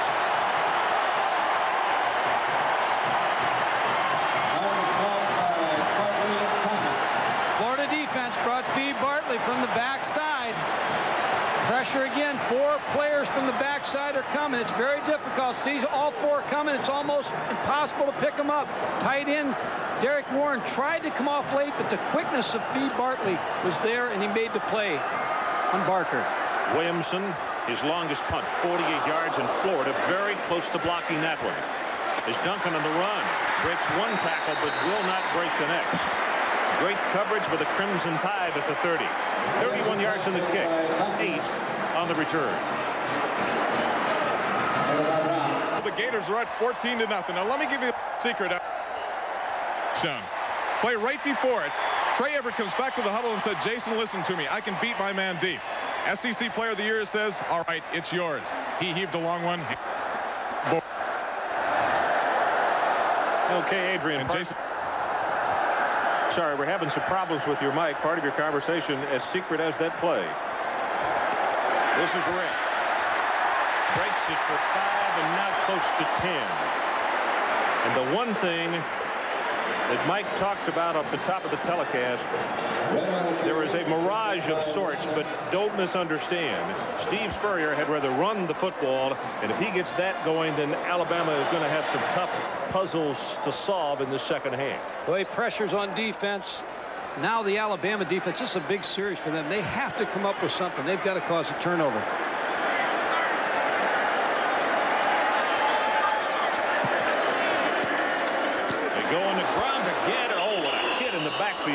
Knocked down for absolutely nothing. Eric Curry there to make the defensive play. Here's Tim Brando. Ron, Arizona's got the big play. George Malauulu, their quarterback, has a touchdown pass of 65 and now 85 yards. This one to David Lockhart. And Arizona, after the fake field goal to take the lead by four, now up 11. 28-17 over the Cardinals. Tim, somehow that makes more sense because Stanford was supposedly starting the ball game tonight with two of their regulars in the secondary missing, and that play looked like it. Alabama shows blitz. They go the other way. Does Florida has the first down, and Rhett is in the open field inside the 45 to the 44. Curry again defensively. Back to the two tight end, tight end offense. This time, instead of running the counter with Errict Rhett, number 33, they ran the toss sweep. Watch the toss sweep. Here's the pitch. Now, they, they don't come back to backside. Look at the lead block on the defensive back. And then just a great job of running by Errict Rhett. The running backs do a great job here in Florida's offense. They block, they run the ball well, and they're very good pass receivers. Errict Rhett led the SEC in total rushing last year with 845 yards. He has 76 this evening Flags go down. And the 25-second clock shows double zero. And as you see Rhett trotting down the field, the quick hitter right there, he thought he was going to have a big Delay game. of game, way to set the ball on time. Five yards offense.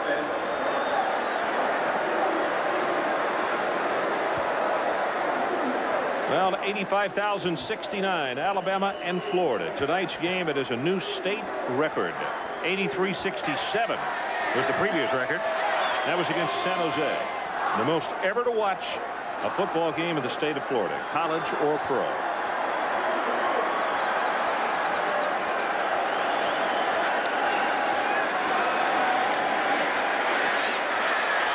Incomplete. Good coverage. The ball a tad high. Alonzo Sullivan is the man he wanted, but it was McMillan. All-American Junior College from uh, Glendale Junior College was there defensively. Sometimes you wonder how you get these delay of game penalties, but when offensively with Steve Spurrier, you're using so many formations. Sometimes they're just a little slow getting on the field, getting the play to the quarterback, then to the line of scrimmage when you're shifting so much personnel around, and that's what happened when they got the delay of game. Oh. Six and a half minutes, Mike, left in this third quarter. It has gone very quickly, and the Gators have struck by way of a turnover. White with the interception. Then they got the touchdown pass to Everett. Marker goes down. Pass is thrown to the tight end Charles Dean. And he is tackled at the line of scrimmage. Now let's see. The marker has been thrown deep in that right corner spot.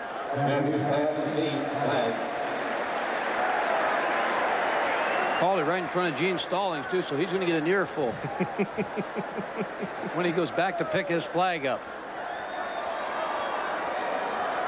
Jimmy Harper, I've mentioned early on in the telecast, one of the veterans in uh, college football, and particularly here in the SEC, and defensive holding.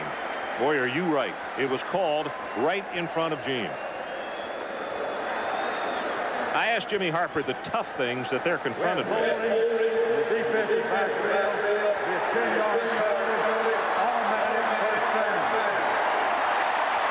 as you watch it, I'll continue this story because it should be self-explanatory. But I asked him what has become even tougher in college football, and he said the fact that we continue to get new calls that are purely our decision at our discretion. And he said, we've already got enough of those. And the fans, you know, just, he said, they're so big and so quick now. It's really tough. I think he blew that call. Rhett goes for 12. Well, I, I disagree with you. I, I mean, unless they were doing the Texas two-step, that's holding. Let's go to Tim Brando.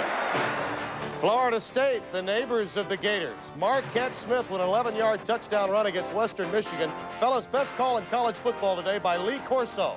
He said they beat Western Michigan by 50 after what Central Michigan did to Michigan State. They get two weeks to prepare now for the Wolverines. Florida State, what? convincingly tonight.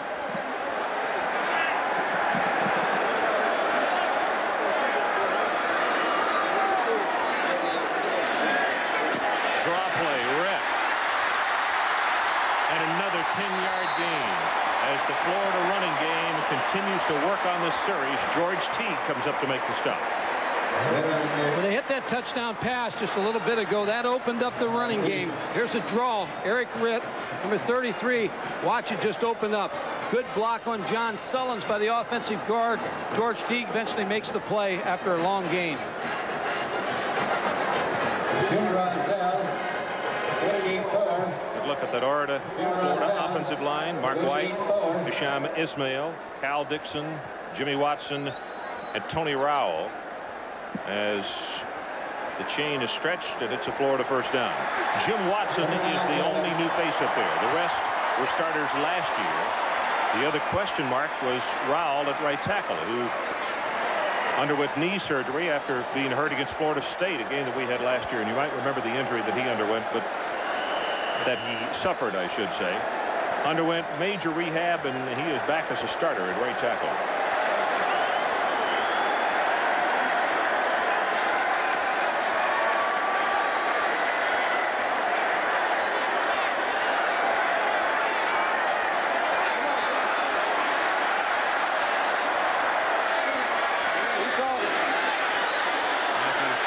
to roll the pocket, and he just throws this one away. Sullivan closest man to it.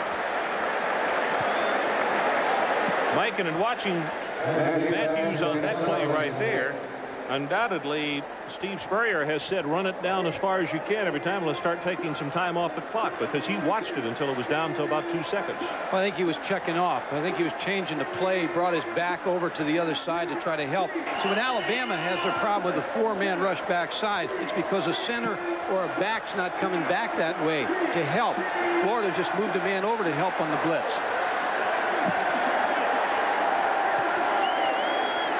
Ron play rep. And this time he will go for only a couple as number 90, John Sullins, steps up into the hole. And the all-conference performer from last year knocks him down hard. He's a senior from Oxford, Mississippi.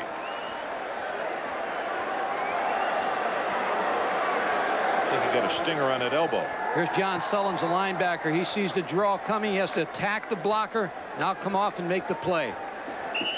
Also, that's Michael Rogers, 52, who was at the bottom of the stack. He's a freshman from La Vergne, Alabama. If you look at John. When you get the running game going like this, it's very difficult to bring those extra DBs in now because you really, now Florida's got the edge a little bit with their play calling. Everett and Harrison Houston go wide to the left. And a timeout is called by Florida. The 25-second clock was down to two. We'll go away for a moment. We'll be right back. Florida by a pair. Florida leads. Be sure to be with us at 4 o'clock tomorrow for the final round of the Hardee's Golf Classic. That's played in Coal Valley, Illinois. And the leaders after three rounds, David Edwards by one.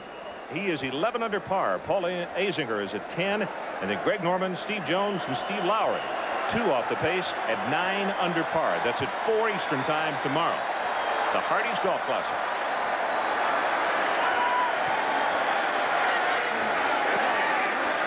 Matthews drills it. Touchdown, Florida, Willie Jackson.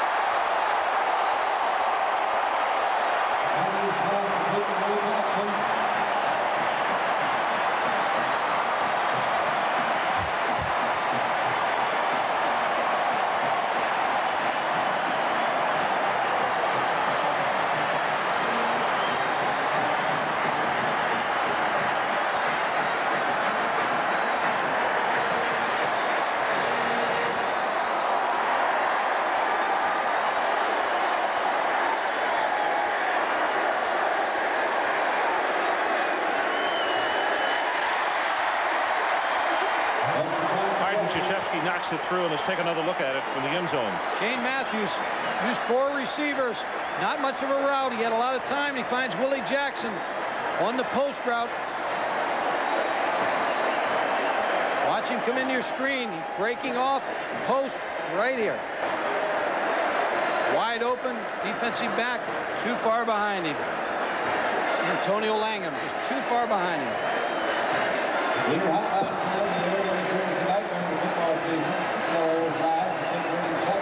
Teague and Gene Gene Talking across the way.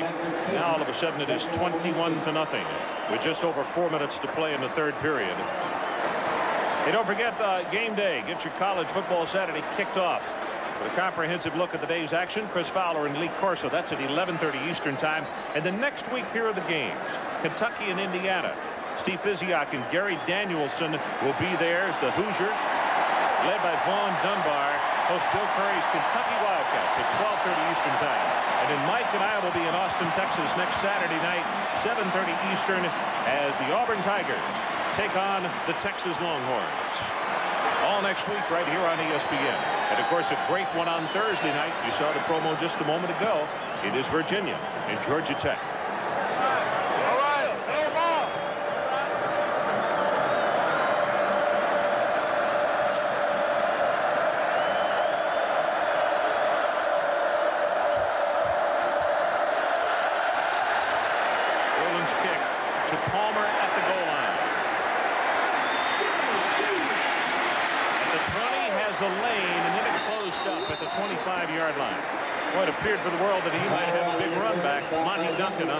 And here's Tim Brando. Back to Tucson we go. Stanford, Jason Palumbis, he can put it in the air, but why not give it to J.J. Lasley? J.J. goes 14 yards. They go for two to the Cardinal, but they fail. It's 28-23, five-point game midway through the fourth quarter. Well, 51 points scored in that one. For those who thought this one would be a high-scoring affair, no way. But Florida has scored two touchdowns in the third against a very tough Alabama defense.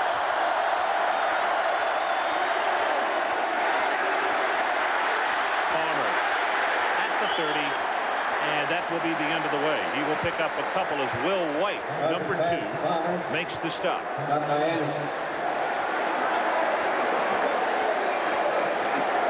When you see Palmer with the football, you can see why they want to get it to him at every occasion, because he's capable of taking a two-yard pass 80 yards. What's happened in the second half is Alabama, of course, the critical turnover they had. But Florida is just playing so good a defense on Alabama. Alabama's not threatening them at all down the football field. Siran Stacy has five and Nine yards now. Carlton Miles will make the stop, but it'll be plenty enough for the Alabama first down. Coming up at the end of the ball game, the Visa players of the game. Mike and I will be choosing one from each team. Stacy now 15 carries, 80 yards for him. What I meant by that statement, Ron, is that Alabama's had success running inside, but they haven't had anything where they've been able to throw the ball deep. You, you can't, I can't remember a pass where they've been able to put it down the football field to threaten Florida, keep them off the receivers. Stacy, he can throw, and he does, back to his quarterback, Barker. And the tackle will be made 44-yard line. That is excellent read and defense by Florida. Del Speer uh-huh. again staying at home. Well, you tried to reverse him. He was there. He stayed home. Now he tried to throw a pass, which was a good call by Mal Moore and Gene Stallings. Here it is, the toss sweep to Siran Stacy. The Siran Stacy threw a touchdown pass last week. Now this week, he throws back to Jay Barker, the quarterback. But again, there's Del Speer. He did not leave where he was supposed to be. Not only that, when he got there, he made a just a perfect tackle as he locked him up. Second down, the line to make it to 49. Stacy off the right side of Fee Bartley, who was right there to knock him down and no gain. Coaches like to counter what they do from week to week. Last week, as I said, they pitched the ball to Siran Stacy. He ran to the right and threw a pass down in the corner. This week, they tried to throw back to the quarterback. Always, you know, the other team has your tapes and they have your film and they're watching and practice against your plays. Add another play for number 27, Siran Stacy. Just well defended by Florida. Fundamental football.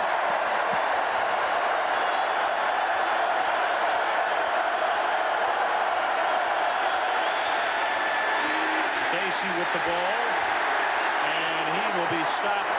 Maybe a gain of one in the play. Paul, also Brad Culpepper. And listen to this ovation for the Florida defense.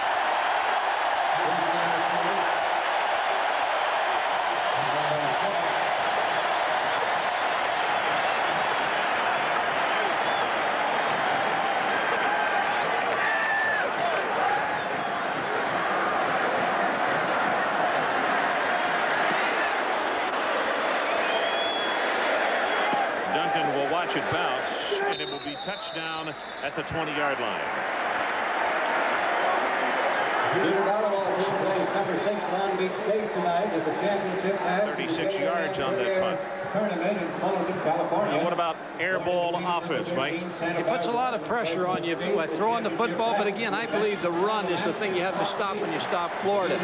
Alabama tonight has played very good defense. They just haven't been able to get enough offense out to stay with Florida. Florida's a complete football team, strong on offense, strong on defense, and strong in special teams. Alabama has a young offense that will come along. Well, you could see those numbers that Spurrier's clubs have racked up at both Duke and now coming down here to Alabama. Rhett hit in the backfield and again good defense. Jeremy Nunley number 73. I guess the biggest point to make about that graphic that we saw just a moment ago Mike is the fact that not as many yards passing here in Florida but if you look at the break offensively passing and running it's like 50-50. Oh, it's even, dead even. And you get in some games, he likes balance. Every coach, if you ask them what they want to do, they want balance in their offense. But the team that runs wins. The team that has success running the football, you have to be able to run it. This is McNabb. 5, 10, 15, I got to say officially 16 yards. And the man who is chiseled. Oh, he is built like a fullback should be built. Dexter McNabb at 60, 238 pounds and very little body, body fat. And that could be the last play of this third quarter as the clock ticks down now to 15 seconds. He has three carries for a total of 30. The difference in this quarter and the other quarters is Florida's been able to run the football. They've kept substitutions off the field for Alabama, and they're just effectively running the football.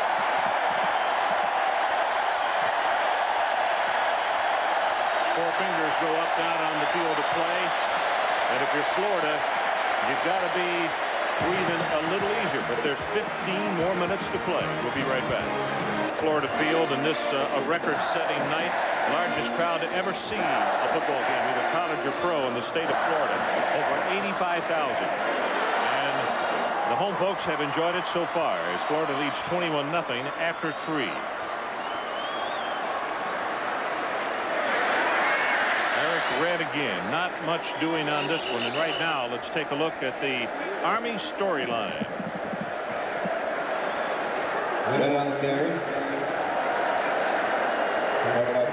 Alabama, four turnovers, three fumbles. Matthews, 195 yards and two touchdowns, and the majority of that has come in the second half.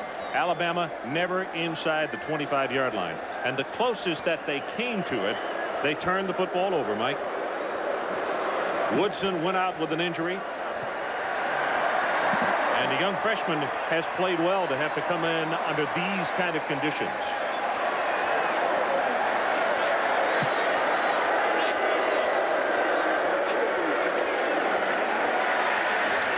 Errict Rhett at the middle. Breaks it open, and there's a foot race.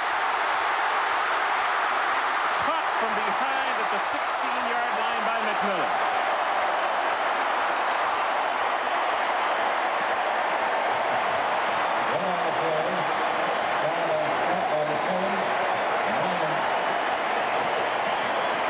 Running backs for Florida just keep getting stronger. Errict Rhett, number 33, has played this entire game. Look at him break tackles. Mark McMillan has to run him down from behind. Boy, they impressive. The run two running backs, and McClendon. Here's another look. Watch the counter play. Comes backside, picks his hole, makes a cut, breaks a tackle, keeps his head up, sprints to the goal line. Look at Mark McMillan close with his speed. Alabama with the player down on the near side of the field. And we are now being given the numbers that for Errict Rhett, 18 carries, 150 yards, and that is a career best for him. He led the SEC in rushing last year with 845. And in fact, with Willie McClendon hitting 613 yards, they were the best combo of running backs in the SEC as well. They run the ball effectively. I mean, they're, they're a good run game, and two, two things that were talked about here, the good run game and the lack of depth for Alabama, which we'll talk about a little later, is playing a factor. Tim Brando, what do you have for us? Saturday the 14th, Ron and Mike, is the day of the fade. Grbac to Howard. Now it's Sacca to Terry Smith as the Nittany Lions have knotted the score against Southern California at 7. Back to Ron, Mike, and Adrian Karsten. Thanks, Tim. Great story on Sacca this morning on game day and the difficulties he and his head coach have had, but they obviously have solved it. Draw play this time to Clinton. He'll go for one, maybe two to the 14-yard line. John Copeland is there defensively. Ron was talking about earlier the fact that the depth problem Gene Stallings has. When he, when he took over this team, there was a lack of depth and a lack of people to play. And it's evident when you have to play 12 freshmen. 12 freshmen played in a Temple game. It's going to take a while to get this program. They would have been my staff of the year last year for the job they did with the players that they had last year and the injuries that occurred. I, I just think they did an outstanding job last year, and they need to grow from this game. Florida's got them on the run. Gators with a 21 to nothing lead with a second down and eight at the 14. McNabb, boy, he gets tagged at the line of scrimmage. Michael Rogers. Don't misunderstand one thing. We, we give credit both ways. Alabama is down 21 to nothing, but defensively, this group of guys, they haven't turned the football over. They will really come up and pop you. They're wearing down a little bit. Here you see Michael Rogers, number 52, take on the draw. Dexter McNabb. The running game of Florida has been the difference in the second half. Lack of depth for Alabama and the turnovers by the offense.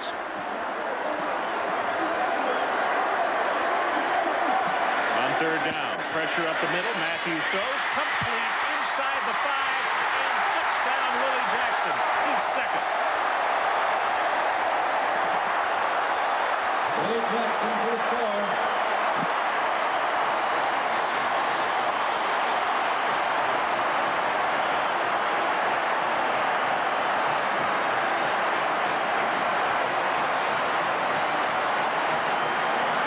When you have trouble stopping him, you got to go to man coverage. Willie Jackson just beats Mark McMillan. One-on-one coverage, then is able to break the tackle, get to the corner for the score. Arden Czyzewski to attempt the extra point. Credit Dexter McNabb with a key block for his quarterback, and the extra point is good. One more look at it as Shane Matthews zips it to Jackson, and he breaks the tackle of Mark McMillan, and the reaction of the head coach. Steve Spurrier likes what he sees. The Florida Gators on top of the Alabama Crimson Tide as Ryan Ruland will kick it off.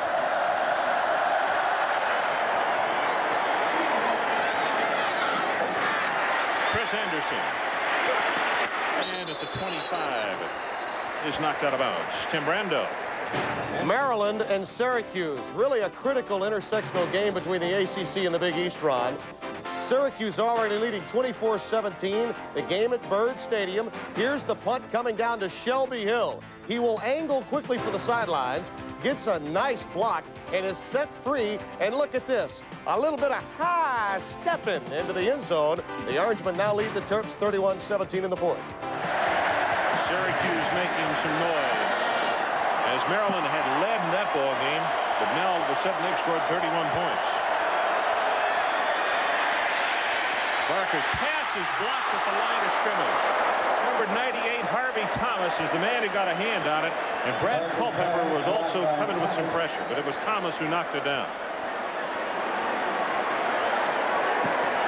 You know, Willie Jackson is working on uh, some pretty good numbers tonight because for his career, four catches, 56 yards, three touchdowns. He's got two of those tonight. He's had a good night. Uh, Jay Barker just going to have to get some good playing experience in this quarter. Check Danny Woodson's injury when they get back home.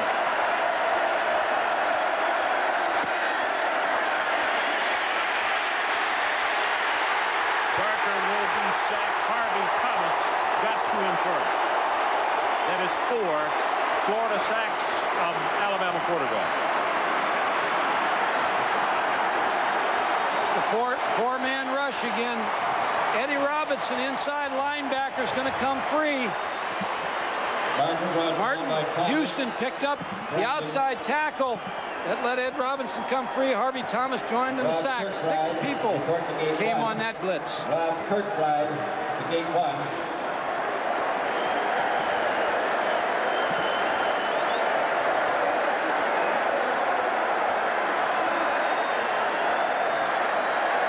Bill Gunter just came rushing on the field.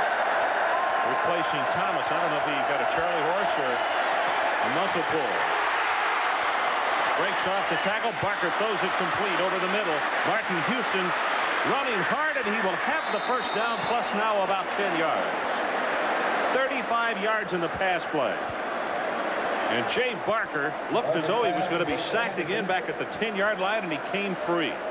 Florida played pass coverage, ran a 4-2 defense, dropped people in coverage. Jay Barker was almost trapped, came out of it, smart enough, found Martin Houston. Martin Houston with good gain.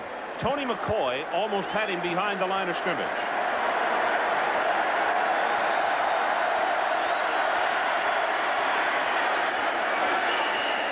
Kevin Turner, short yardage. Adrian Karsten has an update for us. All right, Ron, now before you start laughing at me, Gator Aid, as in Florida Gators, I'm telling you the truth. Meet Chris Patrick, the head trainer here. What was the inception of Gatorade all about? When did this happen? It happened in the early to the mid 60s. In fact, uh, this is the 25th uh, year, 21st anniversary of Gatorade being available to the public.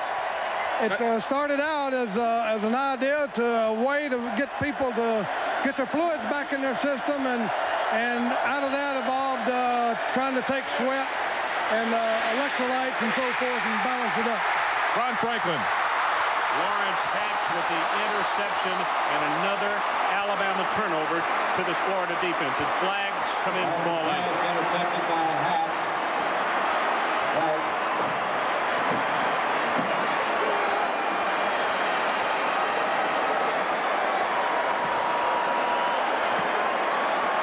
Well, that pass forced just a little too much, and you'll see right here. Good coverage. Lawrence Hatch, number 18, sitting on the streak route, just makes an over-the-shoulder catch.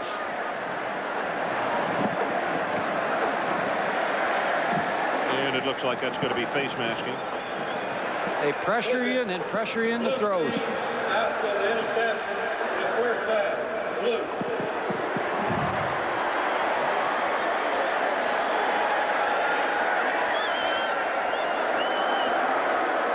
penalty stepped off because of the infraction after the interception. And actually, face masking was not called. It was a clip against Florida. So the new line of scrimmage is the 10-yard line, and we have 10-17 left to play in the ball game. There you see the numbers. Florida, 28 to nothing. And remember what we talked about off the top of the telecast, actually in the tease during the scoreboard show. Florida has never beaten Alabama in their home state. They are 0 and 8. Brandon Berry. Done by Gregory. But they got a pretty good start on it tonight. Will Number two in the left part of your screen, had an interception tonight, which was key to turn things around in the second half. Of course, he had three last year against Alabama.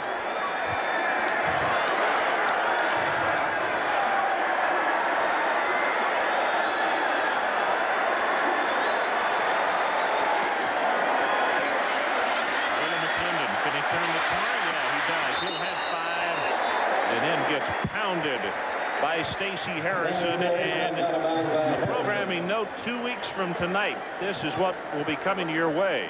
Auburn at Tennessee. We will be in Knoxville. Next week, it is Auburn in Texas. Then we head up to Knoxville, Tennessee for the 90 plus thousand. Boy, they won a big one today impressively over a good UCLA team. Punt block started it all off for them. They just really played well. We saw them against Louisville a couple weeks ago. They were playing well, and they played great defense today. Andy Kelly had a big day. And a big win for them against UCLA.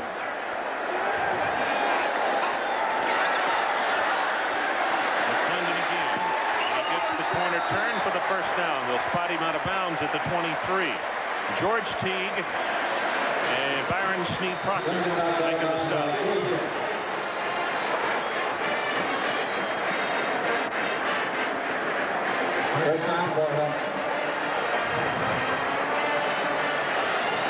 Dave Spurrier continues to signal the plays into the sideline. Always dons a visor when they play the, the games in the daytime, but, but not at night. He never wears that thing.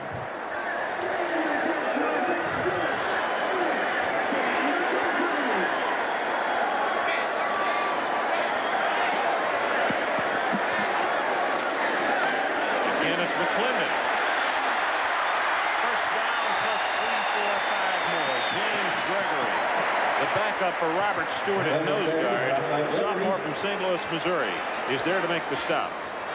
This is where depth becomes a problem in the fourth quarter. Willie McClendon, when you shuttle backs like Florida is able to do, you get a Willie McClendon who looks like he's really fresh right now. He has fresh legs. They're in a two tight end offense, and they're just going to run the football against Alabama.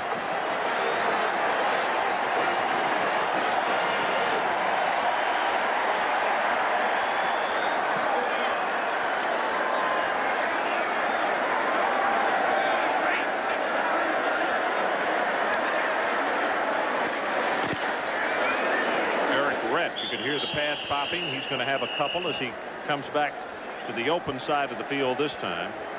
Michael Rogers, number 52, the freshman from La Vergne.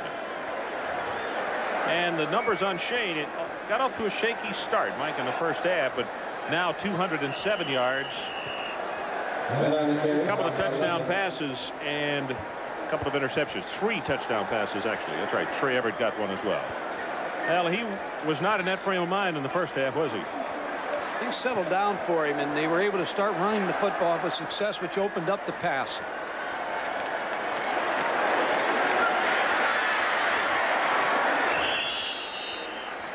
Red is shy of the 45-yard line. Gregory again there to make the stop. I'm very impressed with the offensive line of Florida. Well, I mentioned that Watson is the only new face up there. Three pretty good football teams in the state. Yeah, I'll tell you what, if you win the state championship of Florida, you might have a, just a pretty doggone good shot at winning the national championship, wouldn't you? Wow, I'll tell you what, you take Miami, Florida State, and Florida and play some football in this great state. Hands it back to the quarterback, and he is going to go long. And it is Houston took it away back.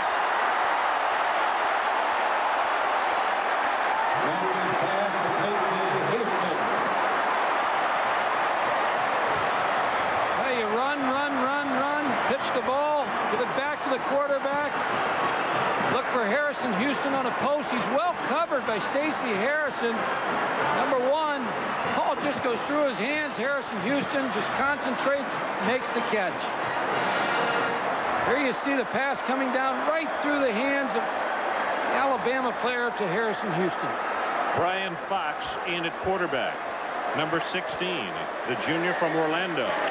Fumbles the snap and pitches it back to Rhett. He will turn the corner and is inside the five to the three. Michael Rogers is there.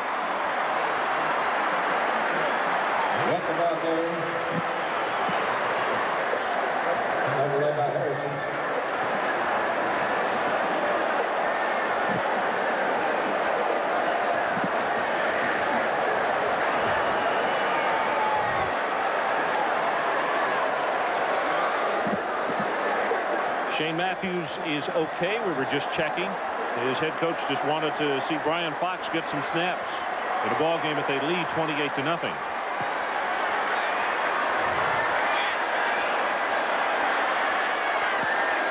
Fumble the second snap, and he'll make his own recovery. Well, when you have the luxury of having this kind of lead, no sense in taking a chance on getting your number one hurt and get your number two some experience.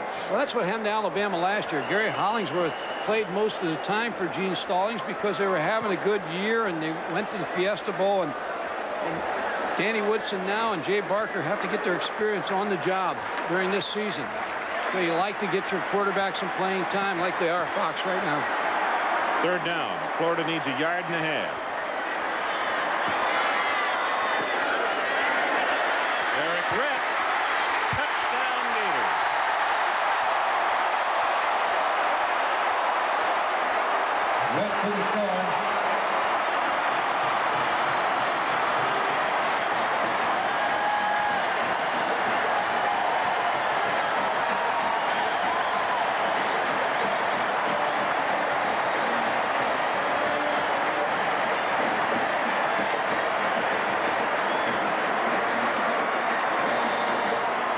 side of the offensive line and give credit also Kelvin Randolph sophomore from Tallahassee with the lead block he was in at fullback.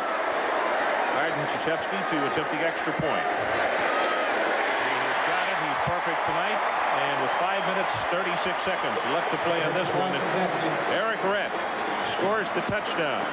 And the Florida Gators ranked number six in the nation go on top 35 to nothing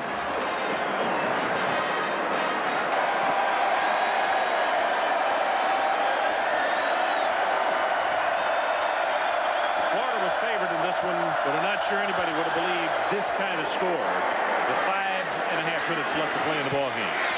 This is Palmer. Palmer still on his feet and takes it out across the 30. Adrian Karsten, let's get an update from him. Ron, let me tell you just how right you are about the quality of football players here in the state of Florida. No less than 89 players on the varsity roster across the field at the University of Florida. 21 of their 26 scholarship signees are from Florida. So where would you expect to find the SEC Player of the Year from? Mississippi. There he is. His father played football at Ole Miss, in fact. Shane Matthews. Of course, he out of Pascagoula, Mississippi, down on the Mississippi Gulf Coast.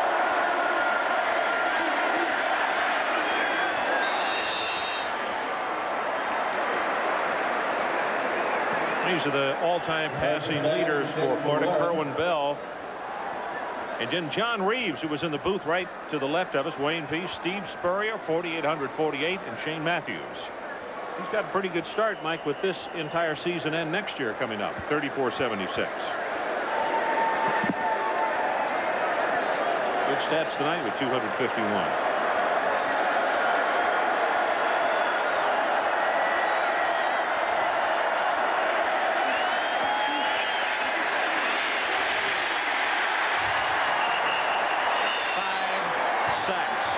for Florida. Culpepper and Brandon this time.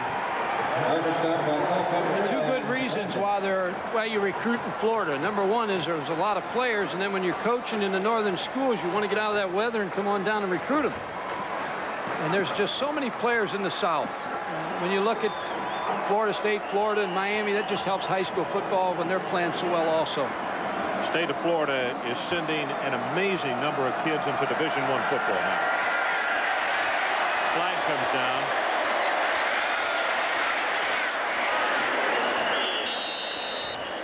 Barker will rush it out to the 40-yard line, and if I didn't know better, I thought I heard Gene Stallings say, please get to the ground. We don't need a second quarterback injured tonight. He already lost Woodson, an injury just below his elbow in the right arm. Offensive line, 10 yards, foul foul.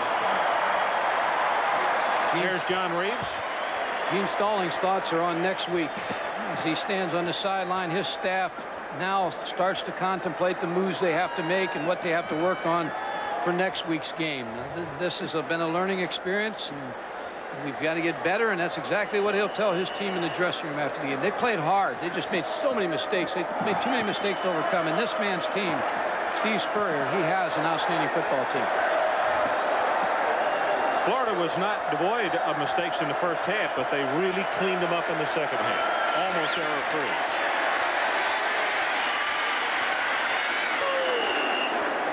You hear the groan of the crowd as Barker really takes a shot from Tim Paulk.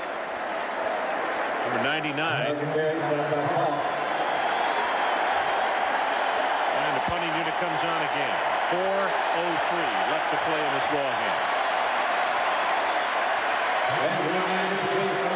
Jake Williamson has been a busy man tonight. He's done a very good job.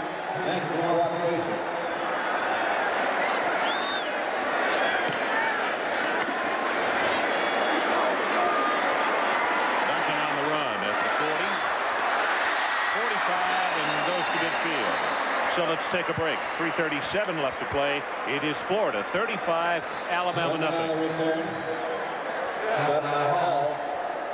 on, baby.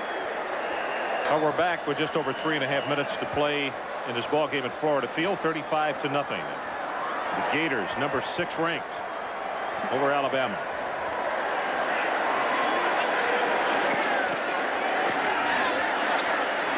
Brian Fox with a handoff to Kelvin Randolph and Michael Rogers there to make the stop. Back to Tim Brando when he has another update for us. All right, fellas, thank you very much. Maryland coach Joe Krivak is a Syracuse alum. He lost to Syracuse tonight, 31 to 17, the final in that game. Auburn, Pat Dye, in his 200th game as a head coach, beats Mississippi 23 to 13. And with only a second left in the half, now it is halftime. USC leading Penn State 14 to 7. We'd like to welcome those of you that have been watching those games to tell you that Chris Fowler and Lee Corso will have the scores of all the games coming up immediately after Florida and Alabama. Thanks, Tim. Interesting score. Mississippi had only given up a couple of field goals. And tonight, Auburn scores 23 and wins by 10 over this convincing win. We have Auburn next week against the Texas Longhorns out in Austin. As McNabb is knocked down for a loss, and again, Michael Rogers. We have called number 52 many times tonight. He's done a good job. Oden never came back into the ball game after he injured an ankle, and they wrapped it Rogers got a chance to come in, only a freshman from La Vergne, Alabama, 6'1", 220. And to go a little further on the point that Mike made that this is one that Alabama, the only thing you can do, you just draw a lot of experience from it. Some young players who have not played get an opportunity to, to take snaps. And there you see the difference in this ball game. Florida, 172 second half yards.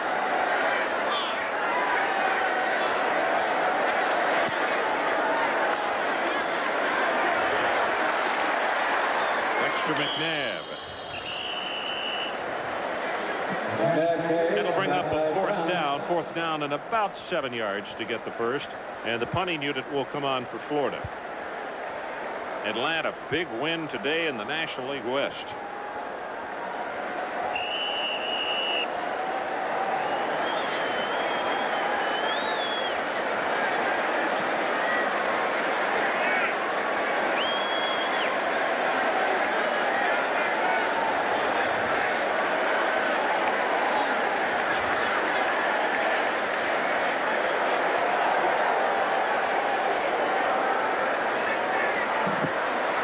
Formation, and Florida will let the clock go down and get the five-yard penalty if it happens. There's the whistle.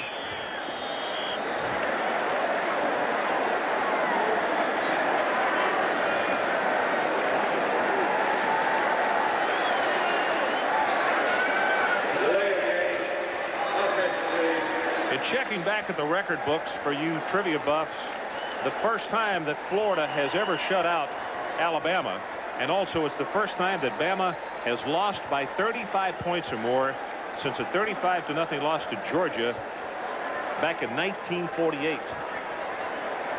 The Alabama's had such a tradition-rich football program.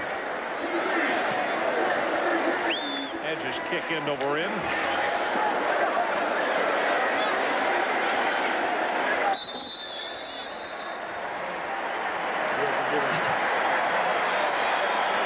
Visa players of the game for the University of Alabama is Siran Stacy. Stacy tonight with uh, 17 carries for 80 yards. And for the University of Florida, it is Errict Rhett. What a night for him. 170 yards. That is a career high for him. And as part of their continuing effort to further the, the development of amateur athletics, Visa is proud to donate $1,000 to the U.S. Olympic team on behalf of these athletes.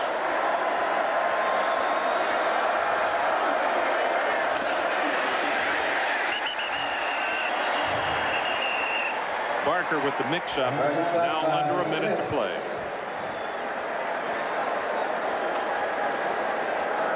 Culpepper still in on defense. Made the play.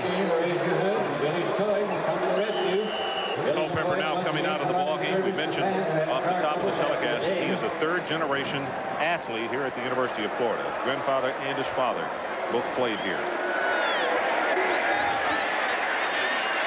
Barker's pass delivered incomplete. Probably the most important thing also about Culpepper, besides the fact that he is a co-captain and a leader, he is about to be, for the fourth time, on the honor roll in the SEC All-Academic. He also is the vice president of the student body.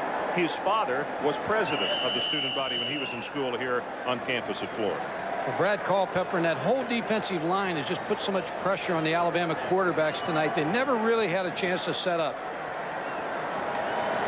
The Residence NCFA scoreboard coming up next. You can see some of the highlights of what we will look at.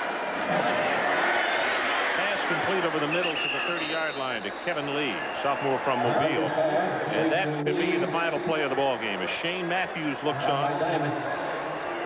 He has to be pleased, not necessarily with the first half. I'm sure he would be the first to say that the first half was not something he'd like to write home about. But he really righted himself in the second half.